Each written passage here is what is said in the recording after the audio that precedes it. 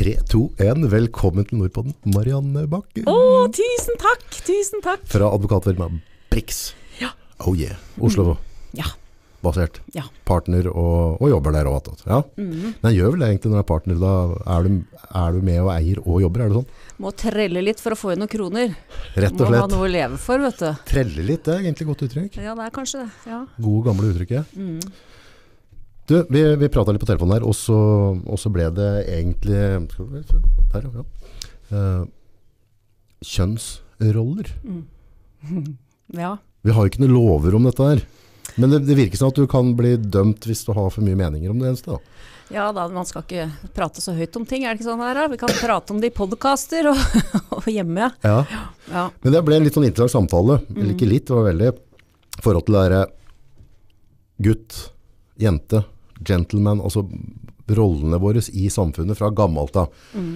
Og så legger vi òg ved det at det er for dem som da finner ut at de ikke har lyst til å være gutter, eller altså de ikke er det, eller ikke, altså, det, det blir en annen skål.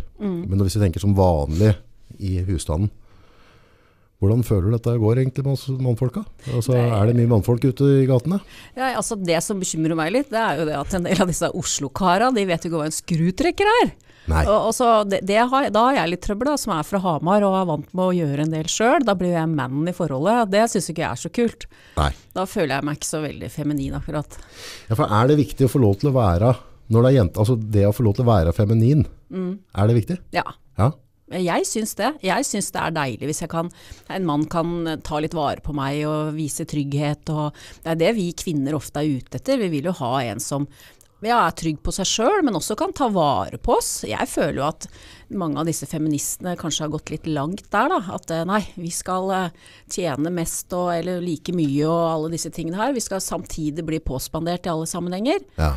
Og er det riktig, hvis, hvis mannen tjener det samme som kvinna, og så er det mannen som skal betale alt? ja, dette er litt spennende. Hvem betaler, hvem betaler på date, ikke Ja. sant? Før så tenker jeg sånn at det var jævla enkelt. Mm. For hvis jeg da var ute og spiste med deg, så er det jeg som betaler ferdig snakka, ellers så går vi ikke ut og spiser. Mm. Det er på en måte sånn, sånn jeg alltid trodd det var. Mm. Men sånn er det kanskje ikke mer. Nei, det, det er litt ymse. Ja? Eh, Er det splitting av regninger? Og, Det er splitting av regninger, og det ender opp noen ganger å betale hele gildet sjøl. Klart, jeg syns jo det er litt spesielt, men eh, Men ja. du som er advokat, da, Mm. sånn generelt, så, så, så vil jo folk se på det at ok, hun der har cash. Mm. Har, har du blitt, blir du sånn der Blir du utsatt for mannlig golddigger? du? tror, tror, er, er det fort gjort? For havner, altså Hvis du har en rolle, og folk har en formening om at du tjener godt med penger, Mm. Og, og så vil jeg tro at det er sikkert mye latpeiser til oss gutta som tenker på å, jeg skal bli sammen med hun, for da tar hun vare på meg, og så betaler hun alle kinobilletter. Og, Jeg syns jo mange ganger det er dyrt hvis jeg har kjæreste. du sitter og betaler på noe? Nei, uff a meg, det er å dra den litt langt. Men, Ja. men, eh, men eh, jeg har mer draget ved å være sykepleier. Hvis jeg er ute på byen og sier jeg er sykepleier, så er menn mye mer interessert i meg enn hvis jeg sier jeg er advokat. For da er du stempla som kranglevorn og vanskelig og ja. Ja, ikke sant? Og så kanskje de føler seg litt eh, mindreverdige, da, noen av de, hvis de er litt usikre, sjøl. Ja, for der kommer vi igjen på den med rollene. Mm. Og, og dette er jo litt vanskelig. Mm. Hvis du på en måte har ei dame som tjener mer enn deg, og hun er oppegående og belest, og, Mm, og er vant til å sette på plass folk, ikke sant? Og vant til å, å, å kampe om å vinne diskusjoner. Ja. Så det er kanskje noe med å tenke på du òg. Eller altså dere jenter som er advokater. Mm. Med å, hvis en skal lykkes i datinglivet, så må man kanskje tilpasse rollene Mm. hjemme og på jobb. At det er litt forskjellig. Ja, men klart man har jo forskjellige roller alltid, tenker jeg. Ja. Eh, sånn, eh, altså, jeg er jo ikke den samme som jeg er Jeg, for, bruker jo ikke forhandlingsteknikker eh, hjemme uh, over middagsbordet, liksom. Det kunne jo ikke ramla meg inn, det hadde Nei. blitt helt gærent. Ja, det blir spesielt. Så ja, Vi må jo huske på at selv om du er advokat, så er du også et menneske. det er noe med det. Dere er mennesker, dere òg. Ja, for Ja. At det er jo bare den rollen man har i arbeidslivet. Ja. Eh, men, eh, men det definerer jo en da, mange ganger. Så, så, så det er jo mange som kanskje syns at man ja, kan da virke utfordrende, da, for at man blir jo mer direkte i måten å snakke på og sånn, og det kan jo være mange menn som syns er skummelt, da. Mm. Men eh, sånn er jo livet. Men, men samtidig så det handler om at vi gutta òg må ta rolla vår. Da. Hvis Mm. vi på en måte ønsker å være på en måte i den rolla, så Altså hvem bærer kofferta, hvem åpner dører, altså sånne ting. Og det virker som det er litt, og du vet ikke hva en skrutrekker er. Ja, Uff a meg, det syns jeg er krise. Nei, ja, men altså det, det skal jo sies at de få mennene som viser de gestene ved at de lar deg gå inn en dør først, f.eks. Um, altså de stopper det ene sekundet sånn at jeg får gå inn først, Ja. eller, eller tilbyr seg å ta veska mi eller bagen min eller et eller annet. Men de få gangene det skjer, det, det, jeg er ikke flink nok til å komplimentere det, men, men jeg setter veldig pris på det. Men er det ofte at det ikke skjer? Ja, heller mest at det ikke skjer, ja. Så det begynner å bli en normal gest? Det er vanlig å få døra midt i trynet. Altså de går inn sjøl, og så kommer døra slengende rett inn, og så ja. Det, er, altså, det, det, igjen da, det handler jo på en måte på oppdragelsen jeg som foreldre gir til mine barn. Og er det, er denne, har vi blitt så opptatt av at alt skal være så kjønnsnøytralt at vi har glemt folkeskikk? Jeg vet ikke. Det er mulig. Det, ja, Da syns jeg det har gått for langt, hvis det er tilfellet. Ja, For at jeg mener det er vanlig folkeskikk. Altså, men, men igjen, da, altså, mange kvinner de skal jo være så innmari selvstendige, så, så de vil jo gjerne lukke opp den døra sjøl, da. ja, Men eh, ja, jeg setter jo pris på de små gestene der. Da. Da, da blir jeg litt sånn sjarmert. Jeg bare oh, en mann som gjør litt ekstra. ja. Men jeg så, nå var, eh, var det går morges, så det er en kafeteria under oss her, og så har de et sånn uteområde, og så må de rydde ut noen stoler. Så kommer vi en jenta som jobba der, øh, og så hadde jeg bare med meg kaffekoppen min, så jeg satt ute i gata ute der, og, og slikka litt sol.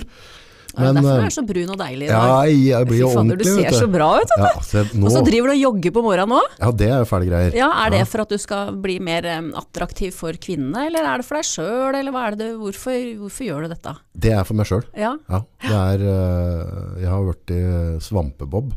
Altså en ting er at jeg på en måte er ute av, av form, utenfor komfortsona der, men mentalt så har jeg forvitra veldig, veldig mye. Uh, og det tror jeg handler om rutiner og, og gjøre ting du strengt talt ikke liker. Eh, du tøffer deg litt opp da, og da er det lettere å, å, å håndtere hverdagen. Så der de siste to åra så har jeg vært på en eller annen sånn ferd der jeg har blitt et eller annet menneske som jeg ikke har lyst til å være. Uh, Jeg trives ikke i eget skinn. Da. Og da tror jeg det er fint med sånn å pelle seg opp fem på morgenen. Og så, så men det er ikke noe sånn kjep, veldig dramatisk. Så jeg og han, eh, Charlie som har vært med på der, en gammel legionær. ja. Eh, Så da møtes vi klokka halv seks på, på løpebanen, og så er tidlig, tar vi 3000 meter. ja. Så gjør vi en 3000, så tar vi noen sit-ups og push-ups etterpå. Da. Men det, om du løper den på en time eller halvtime eller ti, altså, det, det har, altså, poenget er å møte opp og gjøre det. Mm, mm. Det ja, vet i hvert fall tidligere i livet så har det hjulpet meg mye. Jeg vet Ja. ikke hvordan har du mye rutiner du? Jeg prøver å ha en del rutiner, for jeg kjenner at det gjør meg godt. da. Ja, Uh, Og jeg kjenner at det å komme seg opp om morgenen, det å trene, uh, det å, å gå til jobb f.eks., våkne ved å gå til jobb, det syns jeg er kjempedigg. Mm. Og klart hvis man sklir ut på alt dette her, så, så kan jeg bli sløv. Mm. Og det er jo ikke noe, det er ikke noe behagelig. Og da blir man svampet og spiser smågodt og is og tar letteste vei på alt. Vet du. Man, blir for, man blir for bedagelig. Ja. Men det er det som er når du er din egen sjef. Uh, og det, hverdagen min er på en måte ganske lik din. På det, altså jeg har visse ting i kalenderen å forholde meg til når jeg skal ut og filme ting. Men det å være egen sjef og ikke være en del av et fellesskap, så er det ganske vanskelig å holde i rutinene. Det er veldig fort gjort at dem sklir ut. Så da må du være litt ekstra tøff med deg sjøl. Ja, for hvis man da velger å sove halve dagen, da, for så å skal begynne å produsere etterpå, og så sitte utover kvelden og jobbe, og da, da tror jeg man blir deprimert, faktisk. Oh, ja. Fordi man trenger sollyset, man trenger å komme seg ut, og trenger å se folk, trenger å hilse på folk. Mm. Det tror jeg er kjempeviktig, og trenger å flørte litt ved isdisken på butikken, og, og så skape litt gode vibber. Ja. Tror jeg er kjempeviktig. Jeg ødela den Gravdal-episoden din, jeg. Historien din. Nei, det har ikke noe å si. Ja, ja, ja. Nei, det, det, det var bare så enkelt at hun, øh, hun, øh, hun jenta som bærte ut de møblene, og så satt jeg og så svarte på en mailer. Mm. Og så ser jeg at hun driver bærer ut, og så tenkte jeg sånn, skal jeg reise meg opp nå og gå og hjelpe og bære ut? Mm. For jeg hadde jo tid og mulighet. Men da fikk jeg en sånn greie, så hun er på jobb, og så tråkker jeg på henne hvis Ja. jeg gjør det, for jeg kjenner jo ikke hun. Nei. Nei, hadde jeg kjent henne, så hadde det ikke vært et tema. Mm. Men da ble det liksom litt sånn Men så kom det en annen gjest som skulle inn der Mm. på morgenen, så han hjalp til. Altså, da, da, var det, men da kjente jeg litt at nå var det, dette, dette var ikke ok, August, å sitte og se på at hun skal bære de borda. For det, det er nå engang sånn at eh, skrotten min har bedre forutsetninger på å bære tunge ting enn kroppen hennes. Da. Uten tvil. Ja. Uh, så, så, da, så var litt sånn komisk, for da, jeg følte veldig på det da, at jeg, at jeg egentlig gjorde noe feil, da, Ja. ved å ikke reise meg på hjelp til. ja. Men så hadde jeg liksom sånn debatt, altså hun, er- dette er jobben hennes, tråkker jeg, går jeg i hennes domene, tror hun, altså, ja. ja. Men hadde jeg kjent det, så hadde jeg gjort det. Jeg legger veldig merke til eh, liksom, hvis man, La oss si man er på en tur, da. Det, det syns jeg er litt interessant. Um, og så skal man ha med seg noen vedsekker fordi man skal tenne bål. Mm. Uh, hvorpå jeg ser at mange ganger på de turene så er det jeg som ender opp med å drive og bære disse jævla vedsekkene. Hva er det det for noe? Og så tenker jeg det er fire-fem andre menn som er der, liksom. Hvorfor er det ikke noen som reiser seg opp og tilbyr seg å bli med og bære denne dumme vedsekken? Det, det, sånt skjønner ikke jeg. Men da spør jo ikke jeg heller, da. Da er jo jeg stabeist, da, så jeg bare gønner på og, bærer denne dumme sekken, eller de to sekkene. Men hva, hva er det som gjør at menn ikke legger, altså hva er det som gjør at menn ikke legger merke til det og føler seg, altså for allerede der, når jeg står og ser ei jente som jeg ikke kjenner, som har ei lønn og bærer ut den ut, og, så, og føler på det, nok til at jeg har liksom reflektert på det etterpå, altså jeg burde ha reist meg opp og gjort det, og så, hvordan kan da menn sitte og se på jenter de kjenner? Nei, dette har jeg lurt mange ganger på. Jeg skjønner det ikke. Er det en aktiv tanke at det er til helvete, nå kan jeg bare få lov til å bære, eller er det at, de ikke, at det ikke faller dem inn? Altså er vi så sjølsentriske at vi ikke ser? Ja, altså, Eller fall er, er manndommen blitt borte? Jeg vet ikke, men den sekken for meg er jo veldig mye tyngre enn for en kar som veier 30 kilo mer og har mer muskler. Ja, ja, uten Men, tvil. men, men så blir jo jeg litt sta, jeg òg, så da skal jeg bare fikse det sjøl. Ja, Så klart, jeg burde jo sagt at uh, gidd ikke å hjelpe meg, liksom. Uh, ja men da, da, det blir jo awkward. ja, jeg føler det. Ja, ja det blir det. Men det er sånn typisk eksempel man kan komme i, da. Hvor man da styrter og bærer, og, og så sitter disse mennene rundt bålet og bare koser seg. Ja, bare om, om, det går med ja, Du har med sånn, en, en sekk der, da. Mm. Altså, eller om du har et eller annet i hånda. Hvis jeg møtte deg ved toget, da, så måtte jo jeg ha tatt den. Ja, og det er sånn, det, så- tenker ikke jeg at du måtte ha gjort, men dersom du hadde tilbudt deg det, så hadde jeg blitt veldig takknemlig for det, og det Mm. Ja. er sånn jeg hadde lagt merke til. Ja, Fordi at jøss, en mann som tilbyr seg å ta sekken min, liksom. mm. ja Anna, det vil jo se bare helt kopete ut, da. Hvis Ja, i går din verden, Ja. men i mange andres verden så er det ikke kopete. Det det tror jeg er helt normalt. Hva, er det øh, altså, du har jo Hva har skjedd? Altså, Nei, du har jo gått på skolen når du var yngre sammen med gutter. Og, altså, hva, hva, når, når ble dette riktig? Jeg vet ikke. For meg er det jo ikke riktig. Er det den, altså, på en måte er det den feministideologien som har blitt dratt for langt? Da har det begynt å gå inn til oss gutta, eller, altså, eller syns jenter generelt at det er frekt at gutta hjelper dem med sånne ting? Føler de seg tråkka på? Altså, det må jo være. Nei, det, du må nesten spørre noen menn. Ja. Kanskje det er noen menn som kan skrive inn og forklare disse tingene til oss. Nei, men jeg, jeg vet ikke. Jeg tror vel det er noe med eh, at mange menn tenker at kvinner ønsker å være selvstendig, eh, og, og at man blir oppfatta som litt tøff, og at man er sterk, og, og disse tingene der. Og da eh, ja, ja. Men det, det var den tanken som slo meg da jeg så hun bærte der. Ikke sant? Ja. Altså, altså tråkker jeg på hennes domene. Ja. Vil hun oppfatte det på en måte at jeg driver og prøver meg? Altså er jeg han Ja. sleazy, ekle type? Altså, altså, eh, så det var en rekke tanker som gjorde at jeg da liksom på en måte Igjen, hadde jeg kjent det, så hadde det ikke vært tema. Mm. Men, men, eh, men jeg, jeg er redd for at, at jeg skal gjøre en gesture med god hensikt, og så blir det Og det syns jeg blir feil, da, for at det er jo bare en gentleman i deg som, som gjerne ønsker å gjøre det, gjøre hennes hverdag lettere. Ja.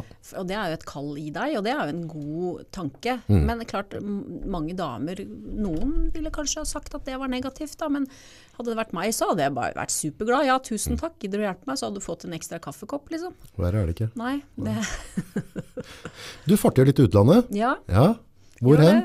Nei, nå har jeg vært en del på Kypros. Kypros. Ja, ja, ja. Åssen er gutta der? Ja, nei, der Er det noen gentlemen? Ja, de er, de er det.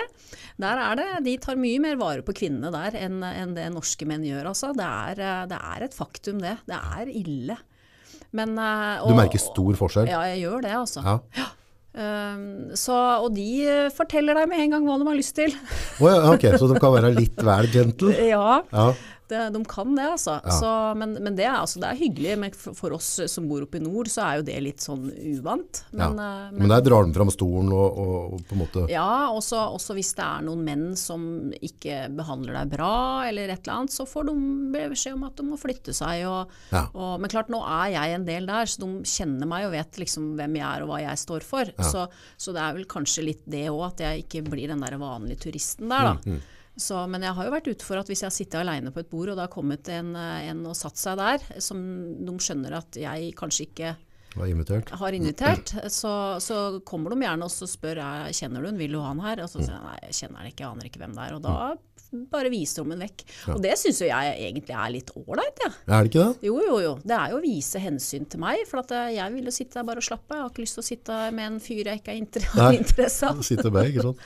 Hva er det som gjør at du trives så godt der nede? Eller hva, hva? sol og varme. Sol og varme. Ja, jeg syns det er deilig altså, å kunne være på stranda og slappe av og kose seg. Og, ja, så er det morsomt å bli kjent med nye kulturer. Jeg syns det. det mm, så Har du gjort deg en tanke på den største forskjellen på kulturene der og her i Norge? Altså sånn, jeg skjønner at det er masse forskjellig, men er det noen ting du liker veldig mye bedre med kulturen der enn det vi har i Norge, og vice versa?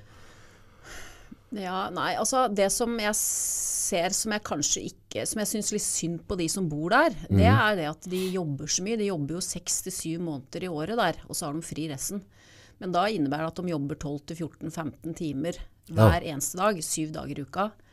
Så, og det, Jeg snakka med ei som driver en restaurant der, som jeg er mye på. Og hun fortalte at hun ser jo ikke, ser jo ikke familien sin i disse månedene. Fra mars da til ca. oktober var det for hennes del. da. For da er det høysesong. Da er det høysesong. Eh, eller i hvert fall sånn april-mai og utover, så eh, begynner sesongen ordentlig. Men de eh, starter opp før.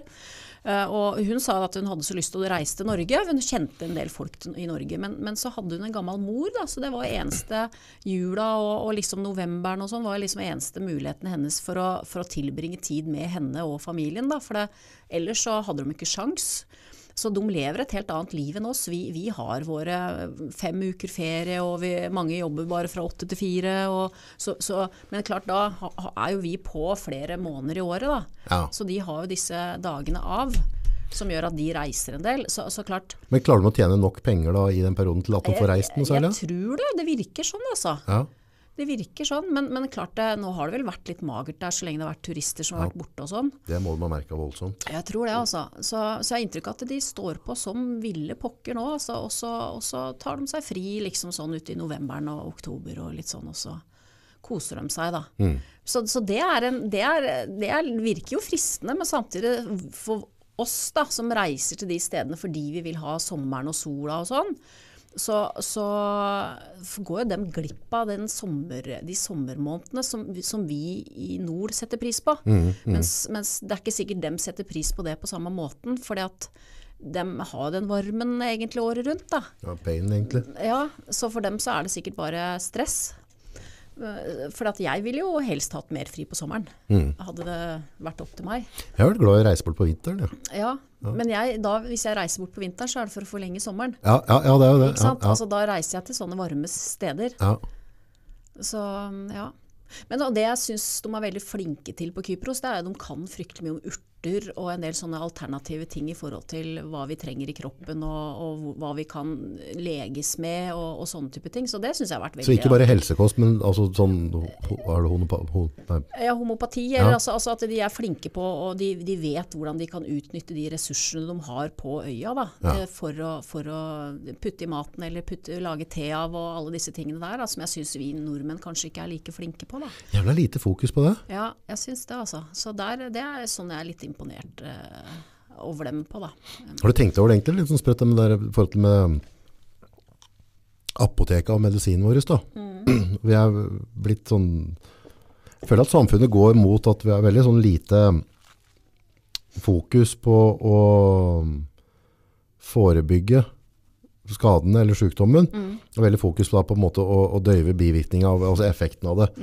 Om det er liksom Paracet, Ibux eller altså, Jeg har jo på en måte ikke hørt noe foredrag fra, fra på en måte noen offentlige personer eller leger rundt det på en måte at uh, det å ta Paracet Ibux er ikke sånn Det er i hvert fall ikke Grete Rode. Men hvis du passer på Grete Rode, faktisk. Eh, Grete Rode Så Hauskost. hun i dette her nå. Så, så, og da, men vi, vi hører liksom ikke Pass på at det er nok hydrert, eller drikk ditt, gjør sånn, Mm. sov nok, sånn, unngå å få vondt i hodet. Det er kun bare å ta medisin. Ja, altså du, du døyver symptomer, men du tar ikke årsaken. Og det er det jeg syns er dumt med legemiddelindustrien. Altså, For at jeg mener at det er veldig mye vi kan gjøre for å tenke forebygging. Vanvittig. Uh, og bare det å drikke vann. Vi har jo, masse, vi har jo behov for vann. Hvor, mye- hvor mye av kroppen vår er det som består av vann? da? 70% eller noe? Ja, jeg tror det. Jeg er jo helt elendig på å drikke Ja, vann selv. jeg òg. Vi har jo hver vår flaske her, så Ja, kanskje vi skal ta en sup, da. Jeg så du hadde med, så tok jeg med en. Nei, vann er jo veldig, veldig viktig. Nei, men generelt, altså hva du spiser. Sukker, ikke sukker, vi prater altså Pepsi Max, Mm. aspartan. Veldig lite fokus på det i Norge. Ja, nei, altså du har jo disse helserådene, da, men jeg er ikke sikker på om disse helserådene er de, de beste. Men, He- men Hvor er lommen? ja, ikke sant? Er, ja, er det et eget helseråd? Ja, i forhold til hva du skal putte i kjeften og disse er, er det Ja, men staten sånn- har ikke en egen gruppe som heter Nei, nei, det vet nei, jeg ikke. nei. Nei, men de, hva de mener at vi skal putte i oss. Men, men, men da har jeg inntrykk av at det er ganske mye sukker i det de skal ha, og karbohydrater i det de mener vi skal putte i oss. Da. Jeg vet ikke om det er så bra for oss i forhold til betennelser og insulinresistens og alle disse tingene her. Jeg føler, jeg føler at vi er um, altså, At vi er lillebroren til USA, da. Mm. Ligger 10-15 år etter. Så den fedmen og Mm. den sukkersykegreia som de har i statene nå, kommer i Norge. Ja, ja. ja, herregud, fortsetter vi sånn som vi gjør nå, så, så blir vi jo, får vi jo disse sykdommene, livsstilssykdommene hele gjengen. Ja, og nå, er jo, nå har vi en perfect, the perfect storm. Mm. Og det, det er jo rett og slett at um, maten har blitt dyrere. Mm. Strøm, drivstoff, altså alt, alt blir dyrere nå om dagen. Mm. Og den eneste maten du har råd til å fôre deg sjøl og unga på da, er junkfood. Ja. For det er billigere enn ordentlig mat. Altså går du og kjøper et stykke kjøtt, fisk, altså et eller annet, så koster det skjorta. Ja. Du har ikke råd til å drive med det hvis du har en stor familie. Men en Grandis, eller altså Altså nå er det jo enkelte som går veldig hardt ut i media og mener at vi ikke skal spise kjøtt i det hele tatt òg. Ja, ja, og, og, og, og, nesten så jeg syns det blir en sånn derre sekt ut av det, enkelte. Og det syns jo jeg er fælt, for at da går man jo glipp av mye bra proteiner. Mm. Og, det tenker jeg at det er klokt, er byggesteinen for kroppen vår. Men der, der har jo sekten på en måte Det blir to nå. Du har jo dem som er da som carnivore, som bare skal spise kjøtt. Og så har dem som ikke altså, Ja, Det begynte jo litt sånn pent og pyntelig med noe Mm. Og så var det noen som Du har jo på TikTok, og du har, det, er- jo noen som er helt totalt crazy på det òg. Så har det andre, så har det Liver King da, på, på både TikTok og på YouTube, som spiser bare rå lever. Som er på en måte på, så, så det har blitt to sånne grove motsetninger, da. Men finne et eller annet i midten. ja, ja. Men hvis vi skal, hvis vi skal gå på butikken og kjøpe et eller annet sunt, Det er dritdyrt. Ja, og, og det er veldig lite. Altså mesteparten av kyllingen, kjøttet, og alt er tilsatt noe. Ja, det er det. Ja. Pumpa opp. Rett og slett. Det skal se flott ut. Skal se flott ut. Ja, men det er ganske sjukt. Sverige så har du den kyllingen i Sverige, er hakket verre enn norske, men den går jo ned liksom 40 Ja. i vekt når du steker det. Ja. Det er bare som plutselig bare, Blir bare tørr og jævlig. Hva skjedde? Ja. Nei, det er ikke noe godt i det hele tatt. Men dette kjøper folk. Folk kjører til Sverige for å handle den driten der. Ja, Det syns jeg er ganske utrolig. vi vet hvorfor de gjør det. så begynner du også, for de kan kjøpe seg Candy King samtidig. Ja, og så er det billig, Ja. ikke sant? Jo, jo, jo er mer dårlig råd vi, råd vi får, Ja, jo mer dårlig mat kjøper vi. Ja ja, men når du kommer til Norge og steker den opp, da, som du sier, hvis den taper seg Ja, ja, 40% så, så vet jeg ikke hvor billig det er, jeg. Jeg, så, jeg, har jo, jeg er jo på TikTok. Ja, du vet hva, du har Det er du nå. Mister, Ja. Mister Nordpodden. MR Nordpodden. MR ja, og tenkte jeg må henge på litt jeg òg, da. Ja, Eh, og jeg er frøken Brex. Frøken Brex. Så jeg bare går inn og følger, folkens. Men der ser jeg det, satt og det, det ja, Nå har jo du ikke fått oppleve det ennå, men det, det er mye humor der. Mm. Mye kreativitet. Og så er det noen som er bare sånn der Ok, kan noen begrense den telefonen til den personen der? For denne, denne gjør det vondt verre for seg Skulle sjøl. hatt en sperre. Men der ser jeg jo også noen folk som, med mat og sånne ting, og, og godteri. Jeg så noe greier, noen som drev med påskeegg og sånn. Så det er kilosvis med godteri. Og, det, så er det sånn derre det, det er kult Ja. ha ja, altså, Som døtte inn i trynet. Men, men jeg syns jo det er trist, da. Altså, du snakker om USA, og så snakker du om Norge. Eh, og så kommer du til Sverige nå. Nå får du lånt sånne der eh, firehjulinger som du kan sitte på og kjøre rundt i butikken. Og det syns jeg er kjempevarsko. Sånn tjukkastralle. Tjukkastralle. Uh, og det syns jeg er litt sånn varsko her. Jeg skjønner at det, har du et et problem med beina, ja vel, da er det greit. Men, men jeg tror jo at det er flere og flere som da velger å bruke disse tjukkastrallene fordi de ikke gidder å gå. Men tenk deg så fint, da. Fått de der 2000-3000 skritta da, på det kjøpesenteret istedenfor å sitte der bare med en joystick og kjøre. Ja. Men det, ble, det var, var det ikke et eller annet at, at øh, Nå husker jeg ikke helt der, men det var i hvert fall en, sånn, en forening da, med, med, der, øh, med folk som sliter med overvekt. Og som mente at de skulle få handicap, altså de skulle få gå kortere. Ja. Altså de trenger akkurat det motsatte. Ja, altså det er jo noe med det. Disse PT-ene de skriker om hverdagsaktiviteten din. Du bør øke hverdagsaktiviteten din. Og det er jo for en grunn. Ja, Ja, altså. Hva er det de sier? Hvis du går en etasje opp, så brenner du ti kalorier ca. Kanskje litt mye, men, men noen mener det. Ja, ja. Så hvis du da går opp seks etasjer, da, så ja, si det er 50-60 kalorier da, som du brenner på å gå opp de istedenfor å stille deg inn i det skapet og få det skapet til å kjøre deg opp de seks etasjene. Ja. ja, det er ganske små. Derfor jeg tror at det bor, det bor en tjukkas i oss alle. Så, så hvis du hadde spist det du har lyst på, altså det følelsene dine sier, så hadde du vært tjukkas. Jo, Du kunne lagt på deg 30 kilo på under et år, Ja. hvis du hadde bare sluppet den garden. Og samme gjelder meg. Mm. Altså det er en konstant fight, for, for, for jeg legger på meg fort som bare det. Ja, ja, jeg òg. Men det som er greia, jeg tror, du snakka om rutiner helt innledningsvis. Jeg tror at hvis man klarer å etablere rutiner hvor man da, sånn som du gjør nå på morgenen, eh, trener med en kompis. Du kjører noen pushups som er kjempebra øvelse, og, du, og situps, og du tar 3000-meteren. Ikke sant? Det, og da har du fått produsert så mye bra hormoner for deg. Som du vil ha med deg resten av dagen. Og det tror jeg også vil påvirke serotoninnivået ditt utover dagen, som gjør at du ikke fyser så mye på sjokolade f.eks. Ja, så virker du litt som fånyttis å gå og spise en Snickers etter å ha trent også. Ja, ja, jeg òg syns det. Da har du liksom, da, når du spiser den snickersen, så vet du at det da, ja ja, det var det du brant når du løp, liksom. Jeg vet ikke hvor mye du brenner, du brenner ikke mye på en 3000 meter. Altså, det, er, det er ikke liksom 1000 kalorier. Nei. Det er bare snakk om 150-200 kanskje. eller annet sånt. Ja. Så, så pluss at du øker også forbrenninga di ellers utover dagen. Da. Så si at du Mm. forbrenner kanskje 300-400 eller noe totalt. Mm. Men da har du spist dere Ben Jerry's, Isa. Dritgode, vet du. Oh. Må ha masse sjokoladesaus på, da. Ja, og hvis jeg òg får litt peanøtter og litt jordbær, og så litt krem oppå, da Men Ben Jerry's, der har du sånn cookie dough ja, og, pe og ja, peanøtter. Der ja, ja, du har jo alt, da. Ja, men Ja. det er, jeg pleier å synes det med peanøttsmør er helt konge da. Mm.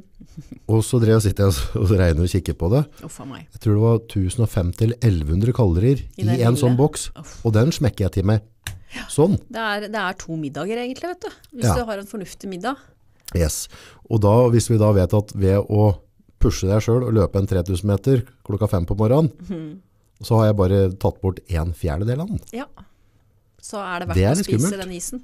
Det er ikke det, vet du. Nei, det er ikke det. Det er jo egentlig ikke nei, Men, godt, men samtidig så koser man seg jo fælt, da. Og så, så får man en eller annen form for lykkefølelse. Ja. Men så er det spørsmålet hvorfor, hvorfor tyr man til dette sukkeret, da? Er, er det noe Er annet annet som trigger det? Ja, ikke sant. For det, er du, er, kanskje det har skjedd et eller annet som gjør at du tyr til sukker? Mm. For at du får jo en eller annen sånn form for godfølelse akkurat idet du spiser det, og ti minutter etterpå. Mye sukker er det du spiser, eh, altså hvor ofte krasjer du i løpet av uka du? Ja, Det nei, det kan være mange ganger. Ja, altså Men jeg krasjer, det jeg krasjer på, det er hvis jeg vet at jeg skal jobbe utover kvelden og ikke har lyst til å jobbe, men det er ting jeg har frister på, det er noe brev jeg må ha ferdig. Ja. Da er jeg veldig, eh, veldig enkelt å jo, innom Meny og handle litt Candy King Oh. eller helnøtt, og så, og så er vi i gang. Det er min største last. Men tar det du jo mye da? Altså, er det sånn mengde som i kaffekoppen, eller er det excessive at du kjenner at det er tyngde? Jeg har begynt å se på vekta, Ja. det, og det, for om det er ingenting i den posen, så blir det jo 200 gram av det. Ja, tvert. Så, så, så det ligger på rundt 200 gram ca. og så kjøper jeg meg gjerne med en 200 grams helnøtt. Nå går sjelden alt det, da. Mm, Men, men det går jo noen ruter her og noen ruter der, og, og litt Candy King. Og, det, og jeg ser jo helt klart mønsteret hos meg. Uten tvil. Ja. Og det er når jeg syns litt synd på meg sjøl om å jobbe. Skal jeg bare kose meg litt, vet du. Mm, Det er så godt. Men, men da får du først en lykkefølelse, Mm. Og så får du det at du, at du, i hvert fall hvis du spiser ganske rent ellers, så får du den der forgiftelsefølelsen. Ja, ja. Du kjenner at kroppen blir, det er hakket før du begynner å svette, liksom. Og så får du en dårlig samvittighet da, etterpå. Men når du sier altså, lykkegreiene, sånn som øhm, Da bør du egentlig ha sex da, med noen. ja, Det hadde vært mye sunnere. ja, bare kom deg på Tinder, liksom. Ja. Kom an, pølsebua er åpen der. Men, men jeg ser det, den, øhm, nå har jeg ikke gjort dette lenge nå med den øh, morgenstrimmen, men jeg har gjort sånn tidligere, men, men nå er jo fortsatt, er jeg såpass utrent, så de 3000 meter av dem kommer ikke gratis da. Det er 7,5 runde på en sånn bane. Men du, det, jeg må bare si til deg at du ser på ingen måte utrent ut. Du ser veldig godt ut. Jo, jo, takk for det. Eh, Men, Og jeg skal tippe at det er veldig mange menn som misunner de bicepsene dine. ja, kanskje det. Jo, men det er Jo, jo, det. Er det. Ja, ja. Og hvordan føles det når en kvinne gir deg komplimenter? Det er ubehagelig. Er det ubehagelig? Ja. Ja. Det er, ja, det er ikke noe, det, er, det blir litt Da skal jeg gi deg flere komplimenter. Ja, der, ja, takk, liksom. Det er skikkelig ålreit. Jo, men dette med komplimenter, hvor flinke er vi til det i hverdagen? Apropos det med kvinner og menn. Men der føler jeg at det er ok at menn gir kvinner komplimenter, men det er ikke så normalt andre veien, og det synes jeg er helt greit. Syns du det? Ja. Jeg syns det er viktig å gi komplimenter til menn òg, ja. Fordi at de trenger det like mye som oss. Ja, eller er det noe vi blir avhengig av? At vi egentlig ikke trenger det, men også blir vi avhengig av det. Ja, kanskje. Ja. ja. For, for det, mm, det å få komplimenter, da, hvis jeg får en, får en mail eller melding, noen som sender inn, noen av dem som hører på, eh, det, også jeg, jeg er veldig takknemlig for det, og setter veldig pris på det, men det trigger meg ikke til å ønske å stå opp før dagen etterpå, og det er litt sånn rart, at, den ikke måte, at ikke det slår inn. Men det er tilbake igjen på, den, på den der, de 3000 meterne, dem kommer jo ikke gratis. Nei. Så da vil si altså, du skal ha 7,5 runde, og så kommer du på runde 1, så driver du med noe, skal vi gjøre noe annet i dag, eller jeg møtte i hvert fall opp og er litt støl, eller altså du begynner å komme med unnskyldninger, og så kommer du over den unnskyldningsfasen, og så kanskje gasser på litt, så du begynner å bli andpusten, så får du lyst til å gi deg litt der, og så plutselig så får du noe sånn der eh, dryss, med der du føler at, nei, nå skal jeg bare løpe. Det er mestringsfølelsen. Og så får du den deilige følelsen, tenker at jeg stopper ikke. Nå, nå, nå er jeg bare lokomotiv, nå bare går jeg. Og den følelsen der, der har du de hormonene du prater på, tror jeg. Mm, ja, det er dritdigg. Og dem er bedre enn det du får på godteriet. Uten tvil. Ja, ja, og så varer det mye lenger. For at du, i hvert fall jeg, hvis jeg trener på morgenen, så er jeg treningshøy utover hele dagen. Men jeg må sørge for å få på, fylle på med mat, for ellers så blir jeg trøtt Ja. og sløv. Men treningsøy, hva, hva, er, hva er det? å- Altså, spesielt i morgenstreninga så handler det like mye om det at jeg har starta, i det startskuddet går da, på dagen, så har jeg gjort en ting som jeg ikke hadde lyst til. Men jeg vet at det er bra for meg. Eh, og det gir meg litt sånn sjøltillit. Da, At jeg, har litt, jeg får, får igjen litt trua på meg sjøl. Ja, og så så det som skjer da, du har den mestringsfølelsen, og så har du, hvis du den dagen hadde valgt å i F da, i den løperunden, så hadde dagen din blitt prega av det resten av dagen. fordi at da har du, er du sint på deg sjøl, irritert, for at du har ikke gjennomført det målet du hadde satt deg den dagen. Du har tapt før Du du har begynt. tapt. Men, men når du da har gjennomført det, så har du, da retter du deg litt opp i ryggen. Du, du blir litt stolt av deg sjøl. Du blir liksom et par centimeter høyere. Ja. Og du er, det, det har du med deg inn i møter og, og alt. Utstrålinga di. Ja, det helt, du får en helt annen energi. Men da, da hvis du da ser, ser om du ser at morgenstreninga di, da, at du skal inn og trene, og så du setter deg et mål, eh, og så gir det at du får en mestringsfølelse. Men da er det som er interessante, hvor drøye skal måla være? For hvis du blir for slack i mål, så biter du ikke. Er de for tøffe, så kan det bli for tøft igjen. Og sånn som når du studerte da, så ble advokat, så handler det om tidslinjer, og du må sette, du må sette målsettene. Hvordan jobba du med deg sjøl da? Jo, det, det, for meg så var det litt utfordrende, for at jeg satte knallharde mål til meg sjøl. Jeg hadde eh, et visst antall sider som jeg skulle lese hver dag og hver uke, og et visst antall oppgaver og sånn som jeg skulle skrive i løpet av en viss periode. Men så hadde jeg fem jobber ved siden av studiene, Ja. så, så, så det, og det hadde jo ikke jeg kalkulert inn med. Eh, Jeg kjørte verditransport, det var den mest krevende jobben jeg hadde, så jeg kjørte jo på natta, og så jeg, kom jeg på lesesalen da noen to-tre timer etter de andre. Ja. Fordi jeg hadde jo vært oppe på natta, man måtte jo ha noen få timers søvn. Så allerede der så hadde jeg tapt. Fordi de andre kommenterte 'herregud, så seint du kommer på lesesalen'. For de hadde jo foreldre som betalte studiene deres, Ja. mens jeg jobba som F. Ja. eh, Og, og tvang meg opp for å komme, og hadde da dårlig samvittighet fordi at jeg kanskje kom 11 istedenfor 8. Ja. for eksempel. Ja. Og da hadde, jeg, da hadde jeg ingen mestringsfølelse, og følte meg Bakpå allerede bakpå allerede der. Og, og da så jeg at de måla som jeg hadde satt meg da, i forhold til hva jeg skulle gjennomføre på ei uke, de var for heftige. Mm. Det gikk, det var, jeg trodde jeg var sånn der superwoman, jeg hadde ikke sjans. Nei. Så, så, det, så det, det er noe å tenke på, at de måla må ikke være så heftige, at, i hvert fall de delmåla, at du ikke klarer å oppnå noe av det. For da vil du ikke få den godfølelsen som, som mål vil gi, da, Ja. Tror jeg. Kalibrering av måla. Ja, ja, ja. Men da er det på en måte, men da kommer den menneskelige biten inn. ja. Så noen ganger så setter du litt for tamme mål òg, som gjør at Mm. Ja, ja. du ikke blir det beist du skal Ja, være og være sulten. Ikke. Jeg klarer ikke det. Jeg har alltid satt for tøffe mål for meg sjøl. Jeg alltid ok. gjort det. Og da har jeg blitt irritert på meg sjøl. irritert før jeg begynner å gire meg opp her. Uh, fordi at jeg ikke har klart å nå de. Ja. Men, men jeg tror nok det er veldig mange som setter veldig slakke mål for seg sjøl. Mange som, som går arbeidsledig f.eks. Altså, I mitt hode så, så får du deg jobb hvis du gønner på Ja, ja, og står ja, på. Men, men de, de er kommet bakpå. Mm. Og de har ikke de, altså, La oss si du har et mål om å sende et visst antall søknader i løpet av ei uke f.eks. Mm. Uh, og gjennomfør det målet. Da, da vil du, og ring, ring, ring. Da, da vil du til slutt klare å få deg en jobb. Mm. Um, ja. Men, men det er det å sette disse målene og være litt bevisst på det. Da. Og ha, gjerne ha en sånn mindmap hvor du skriver opp, skriver opp ting du ønsker ut av livet ditt, og, og visualiser og disse tingene der. Mm. tror jeg er kjempeviktig. Det tror jeg har veldig mye å si. Mm. Visualisere, skrive opp, og så ha de målene. Altså, de er klare, at ikke den blir sånn Ja, ja. eh, Ja. tåkete. Ja, altså Det har jeg brukt mye tid på opp gjennom åra. Også, også rett og slett være konkret på hva er det jeg vil oppnå, hva er det jeg vil ha, hva, hvordan, hvordan skal livet mitt være. Og få litt struktur på det, da. Mm. Ja, for det, det, det, det, er veldig interessant det med målsetning. Um, sånn som Jeg har jo vært veldig nøye på det med å være tidlig oppe og sånn tidligere, og så har jeg hatt en periode nå som det ikke har vært. Så Skal jeg hente inn igjen det. Mm. og da kan det føles helt for jævlig å gå ut av senga klokka fem på morgenen. Forferdelig, vet du. Og så vet og så, Og så sovna du klokka ett. ja, så, så allerede der så vet jeg det er tapt da. Føler jeg sjøl. Og så, men da er jeg bare i den så, Ja, men ok, men bare møte opp. Gjør det du har på en måte avtalt med deg sjøl. Og hvis det blir for jævlig, så dra hjem igjen. Og så legg deg en halvtime til på sofaen. Mm. Men da har jeg i hvert fall gjort det første. Ja, Og det som som regel skjer, da, at du blir fylt med energi. uten Så du tvil. drar ikke hjem og legger deg. Nei. Men om du gjør det, så er ikke det krise så lenge du har på en måte Det er, det er noe med å lage at du du har har jo siesta i Spania, liksom. Ja. Det er jo for en grunn. Ja, så å lage litt sånn fluktrute for seg sjøl, som er innafor, men som er med og gir deg mulighet til å gjennomføre målet. For er du for tøff med deg sjøl, så blir det vanskelig. Ja, og jeg har litt utfordring nå, fordi jeg syns det er tøft å stå opp om morgenen. I hvert fall tidlig. Mhm. Eh, og, og så har jeg som mål å komme meg på trening på morgenen. Mhm. Fordi at uh, det er fryktelig enkelt å skippe den treninga på kvelden når du er litt sulten, når du drar hjem fra jobb og du er litt sliten, og så drar du hjem og så lager deg middag. Da har du bygd opp masse unnskyldninger gjennom hele dagen for å ikke dra dit. Og så, så det jeg har begynt å gjøre nå, hvis jeg ikke kommer meg på trening på morgenen før jobb, Mhm. Så, og nå er det ikke så mange på kontoret, så da gjør det ikke noe. Og, og har jeg møter, så er det over Teams, eh, og da kan jeg ha på meg et eller annet oventil. Men da kjører jeg treningstøy på jobb. Kult.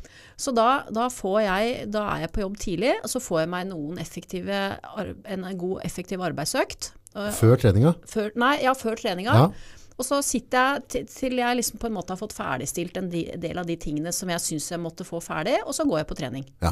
Og i og med at jeg driver med, for, for meg sjøl, så, så spiller det ingen rolle om jeg bruker to timer midt på dagen eller eh, tidlig ettermiddag eller noe sånt, og så drar på trening, og så dusjer der og kom, går tilbake på jobb og får meg et godt måltid og fortsetter å jobbe.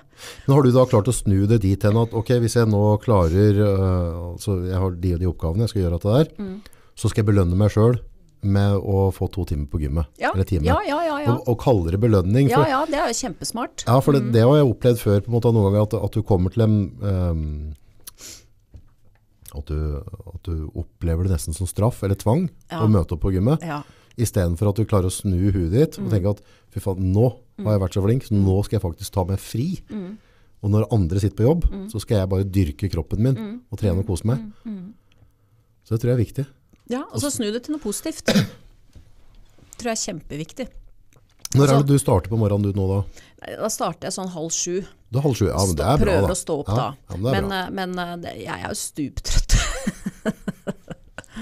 Da havner du på TV-serier og sånn på kvelden? Ja, jeg har en tendens til det. Altså. Uff meg, det er jo ikke bra i det hele tatt. Er serier Men nå har jeg blitt litt inspirert av deg, fordi at du driver på YouTube. Ja, YouTube er mye fint. Så nå har jeg begynt å bruke YouTube til litt sånn forskjellig. Så det syns jeg er morsomt, da. Så, så jeg, det har akkurat begynt, da. Veldig fint på veldig Ellers så er det veldig mye Netflix og HBO og de der greiene der, da. Men Ja. jeg syns jo det er jo egentlig hjernedød underholdning. Så, så heller som, eh, som du er inne på mange ganger, altså at du, du har fortalt at du har lært så mye av YouTube, og det forstår jeg nå faktisk. Men jeg har ikke brukt det. noe særlig. Så er det mange som lager bra innhold. Altså. Ja, det er mye flinke sånne kreative sjeler som lager godt, Ja, ja. godt innhold.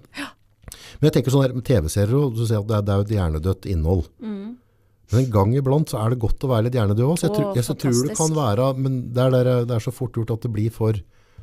For hvis jeg, hvis jeg starter å se en serie nå etterpå, så gir jeg meg ikke før den er ferdig. Nei. Nei, ja. Så om jeg da må sitte og se på den til to-tre i natt, ja. jeg har ikke mulighet til å legge fra meg da. Da Nei, det jeg trenger jeg heldigvis ikke. Gudskjelov. Du klarer å stoppe? Ja, jeg gjør det. Hvordan er det mulig? Ja, nei, er jeg trøtt, så skrur jeg det av, og så går, legger jeg meg. Ja, ja.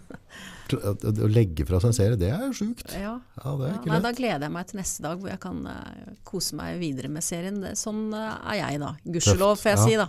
Ja, For jeg vet det er mange å... som har det sånn som du. At du ikke klarer å stoppe. Det er Mm, slitsomt på en måte. Da har du plutselig dratt av sju-åtte timer, liksom. Ja, ja På nei, Svanen. nei, heldigvis så er jeg ikke der da.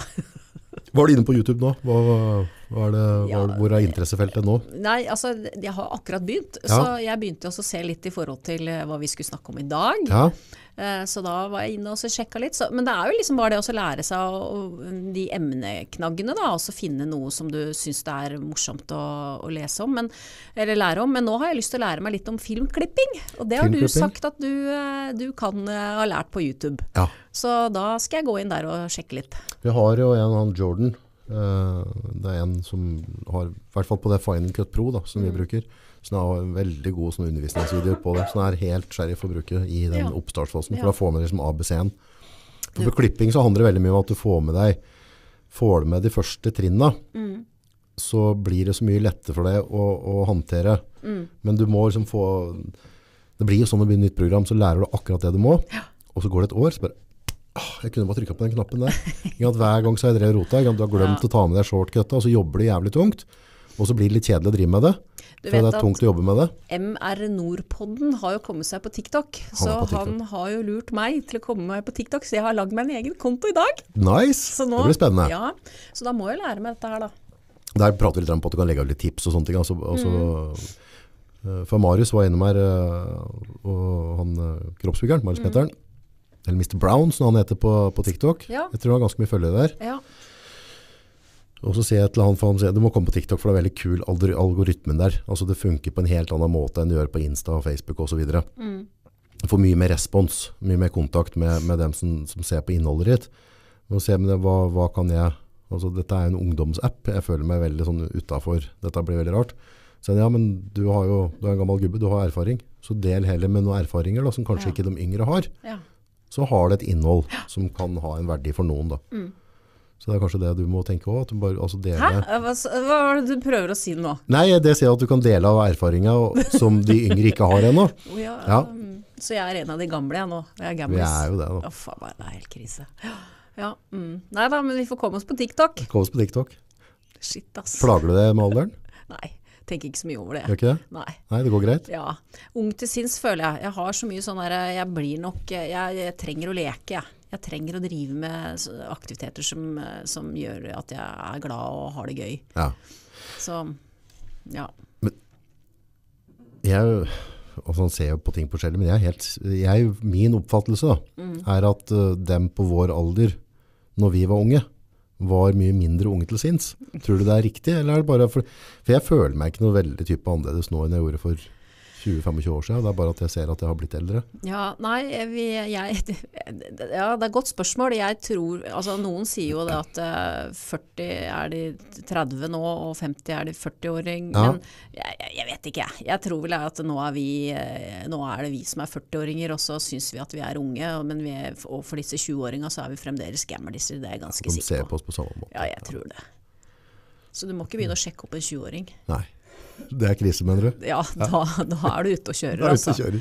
Det er sånn der bekreftelse på seg sjæl når mannfolka begynner med det. Ja, det er litt Si- Sier jeg som vet at da mister jeg litt av, eh, hva skal jeg si eh, Menn vil jo gjerne ha yngre kvinner. Ja. Jo, men det, sånn har det alltid vært, ja, tror jeg. ja. Ja.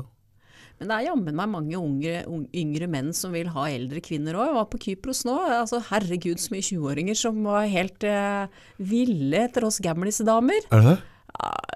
Det må jo føles litt ok det, da. For, Nei, jeg vet ikke, jeg. Det kunne vært mora deres, liksom. jo, jo, men det er koselig å få bekreftelsen, i hvert fall. Ja da, ja da. Men jeg tror det, er- de er ute etter MILF. Ute etter MILF. Ja. Der er du ikke, du vil ikke være med på den runda der.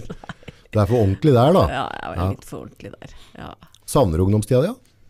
Nei, jeg gjør egentlig ikke det. Eh, altså, hvis jeg hadde hatt med meg det hodet jeg har nå i ungdomstida, så hadde det vært noe annet, tror jeg. Det hadde blitt stygt. Ja, for, at, eh, for at jeg føler jo at jeg har fått litt mer erfaring og, kan håpe, og forhåpentligvis blitt litt klokere. Ja. Men jeg, jeg var jo ei som alltid vanka med gutta. Ja, for du har jo kjørt sykkel og Ja, ja, ja. Og, og, og der, i forhold til kvinner og menn og, og det relasjonen der, så var det mange damer opp igjennom som var veldig misunnelige på meg for et eller annet. For at eh, jeg, jeg, hadde, jeg hadde jo en kompis som de var forelska i, f.eks.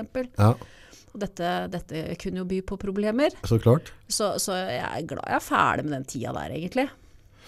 Men det, det er litt så sprøtt, da, for når du du har på en måte, kan vi si at du har vært uh, en guttejente. da. Mm. At du har hengt mye med gutter og kjørt sykler og vannskutere og så Mm. vært, vært i det miljøet der. Men samtidig så er det ikke sånn at du debunker, altså du syns fortsatt det er greit at gutter skal få lov til å være gentlemen. Ja, ja. Ja. Så egentlig skulle en tro på en måte, når du på en måte har vært i det type miljø, at du skal si nei, jeg skal klare meg sjæl. Ja, Og, og, og være ordentlig rødstrømpe, da. ja. Kvinnens rett, ja og så nei, jeg er ikke der, altså. Jeg er ikke det. Og så, og så er jeg jo litt sånn at eh, jeg har jo noen venninner som, som mener bestemt at menn skal betale alt ute. Mm. eh, og også kan fortelle at, at eh, de, de og de mennene har jo så mye penger. Mm. Men hvorfor skal de, de bruke de pengene de har på henne? Eller på meg? Er det riktig, liksom?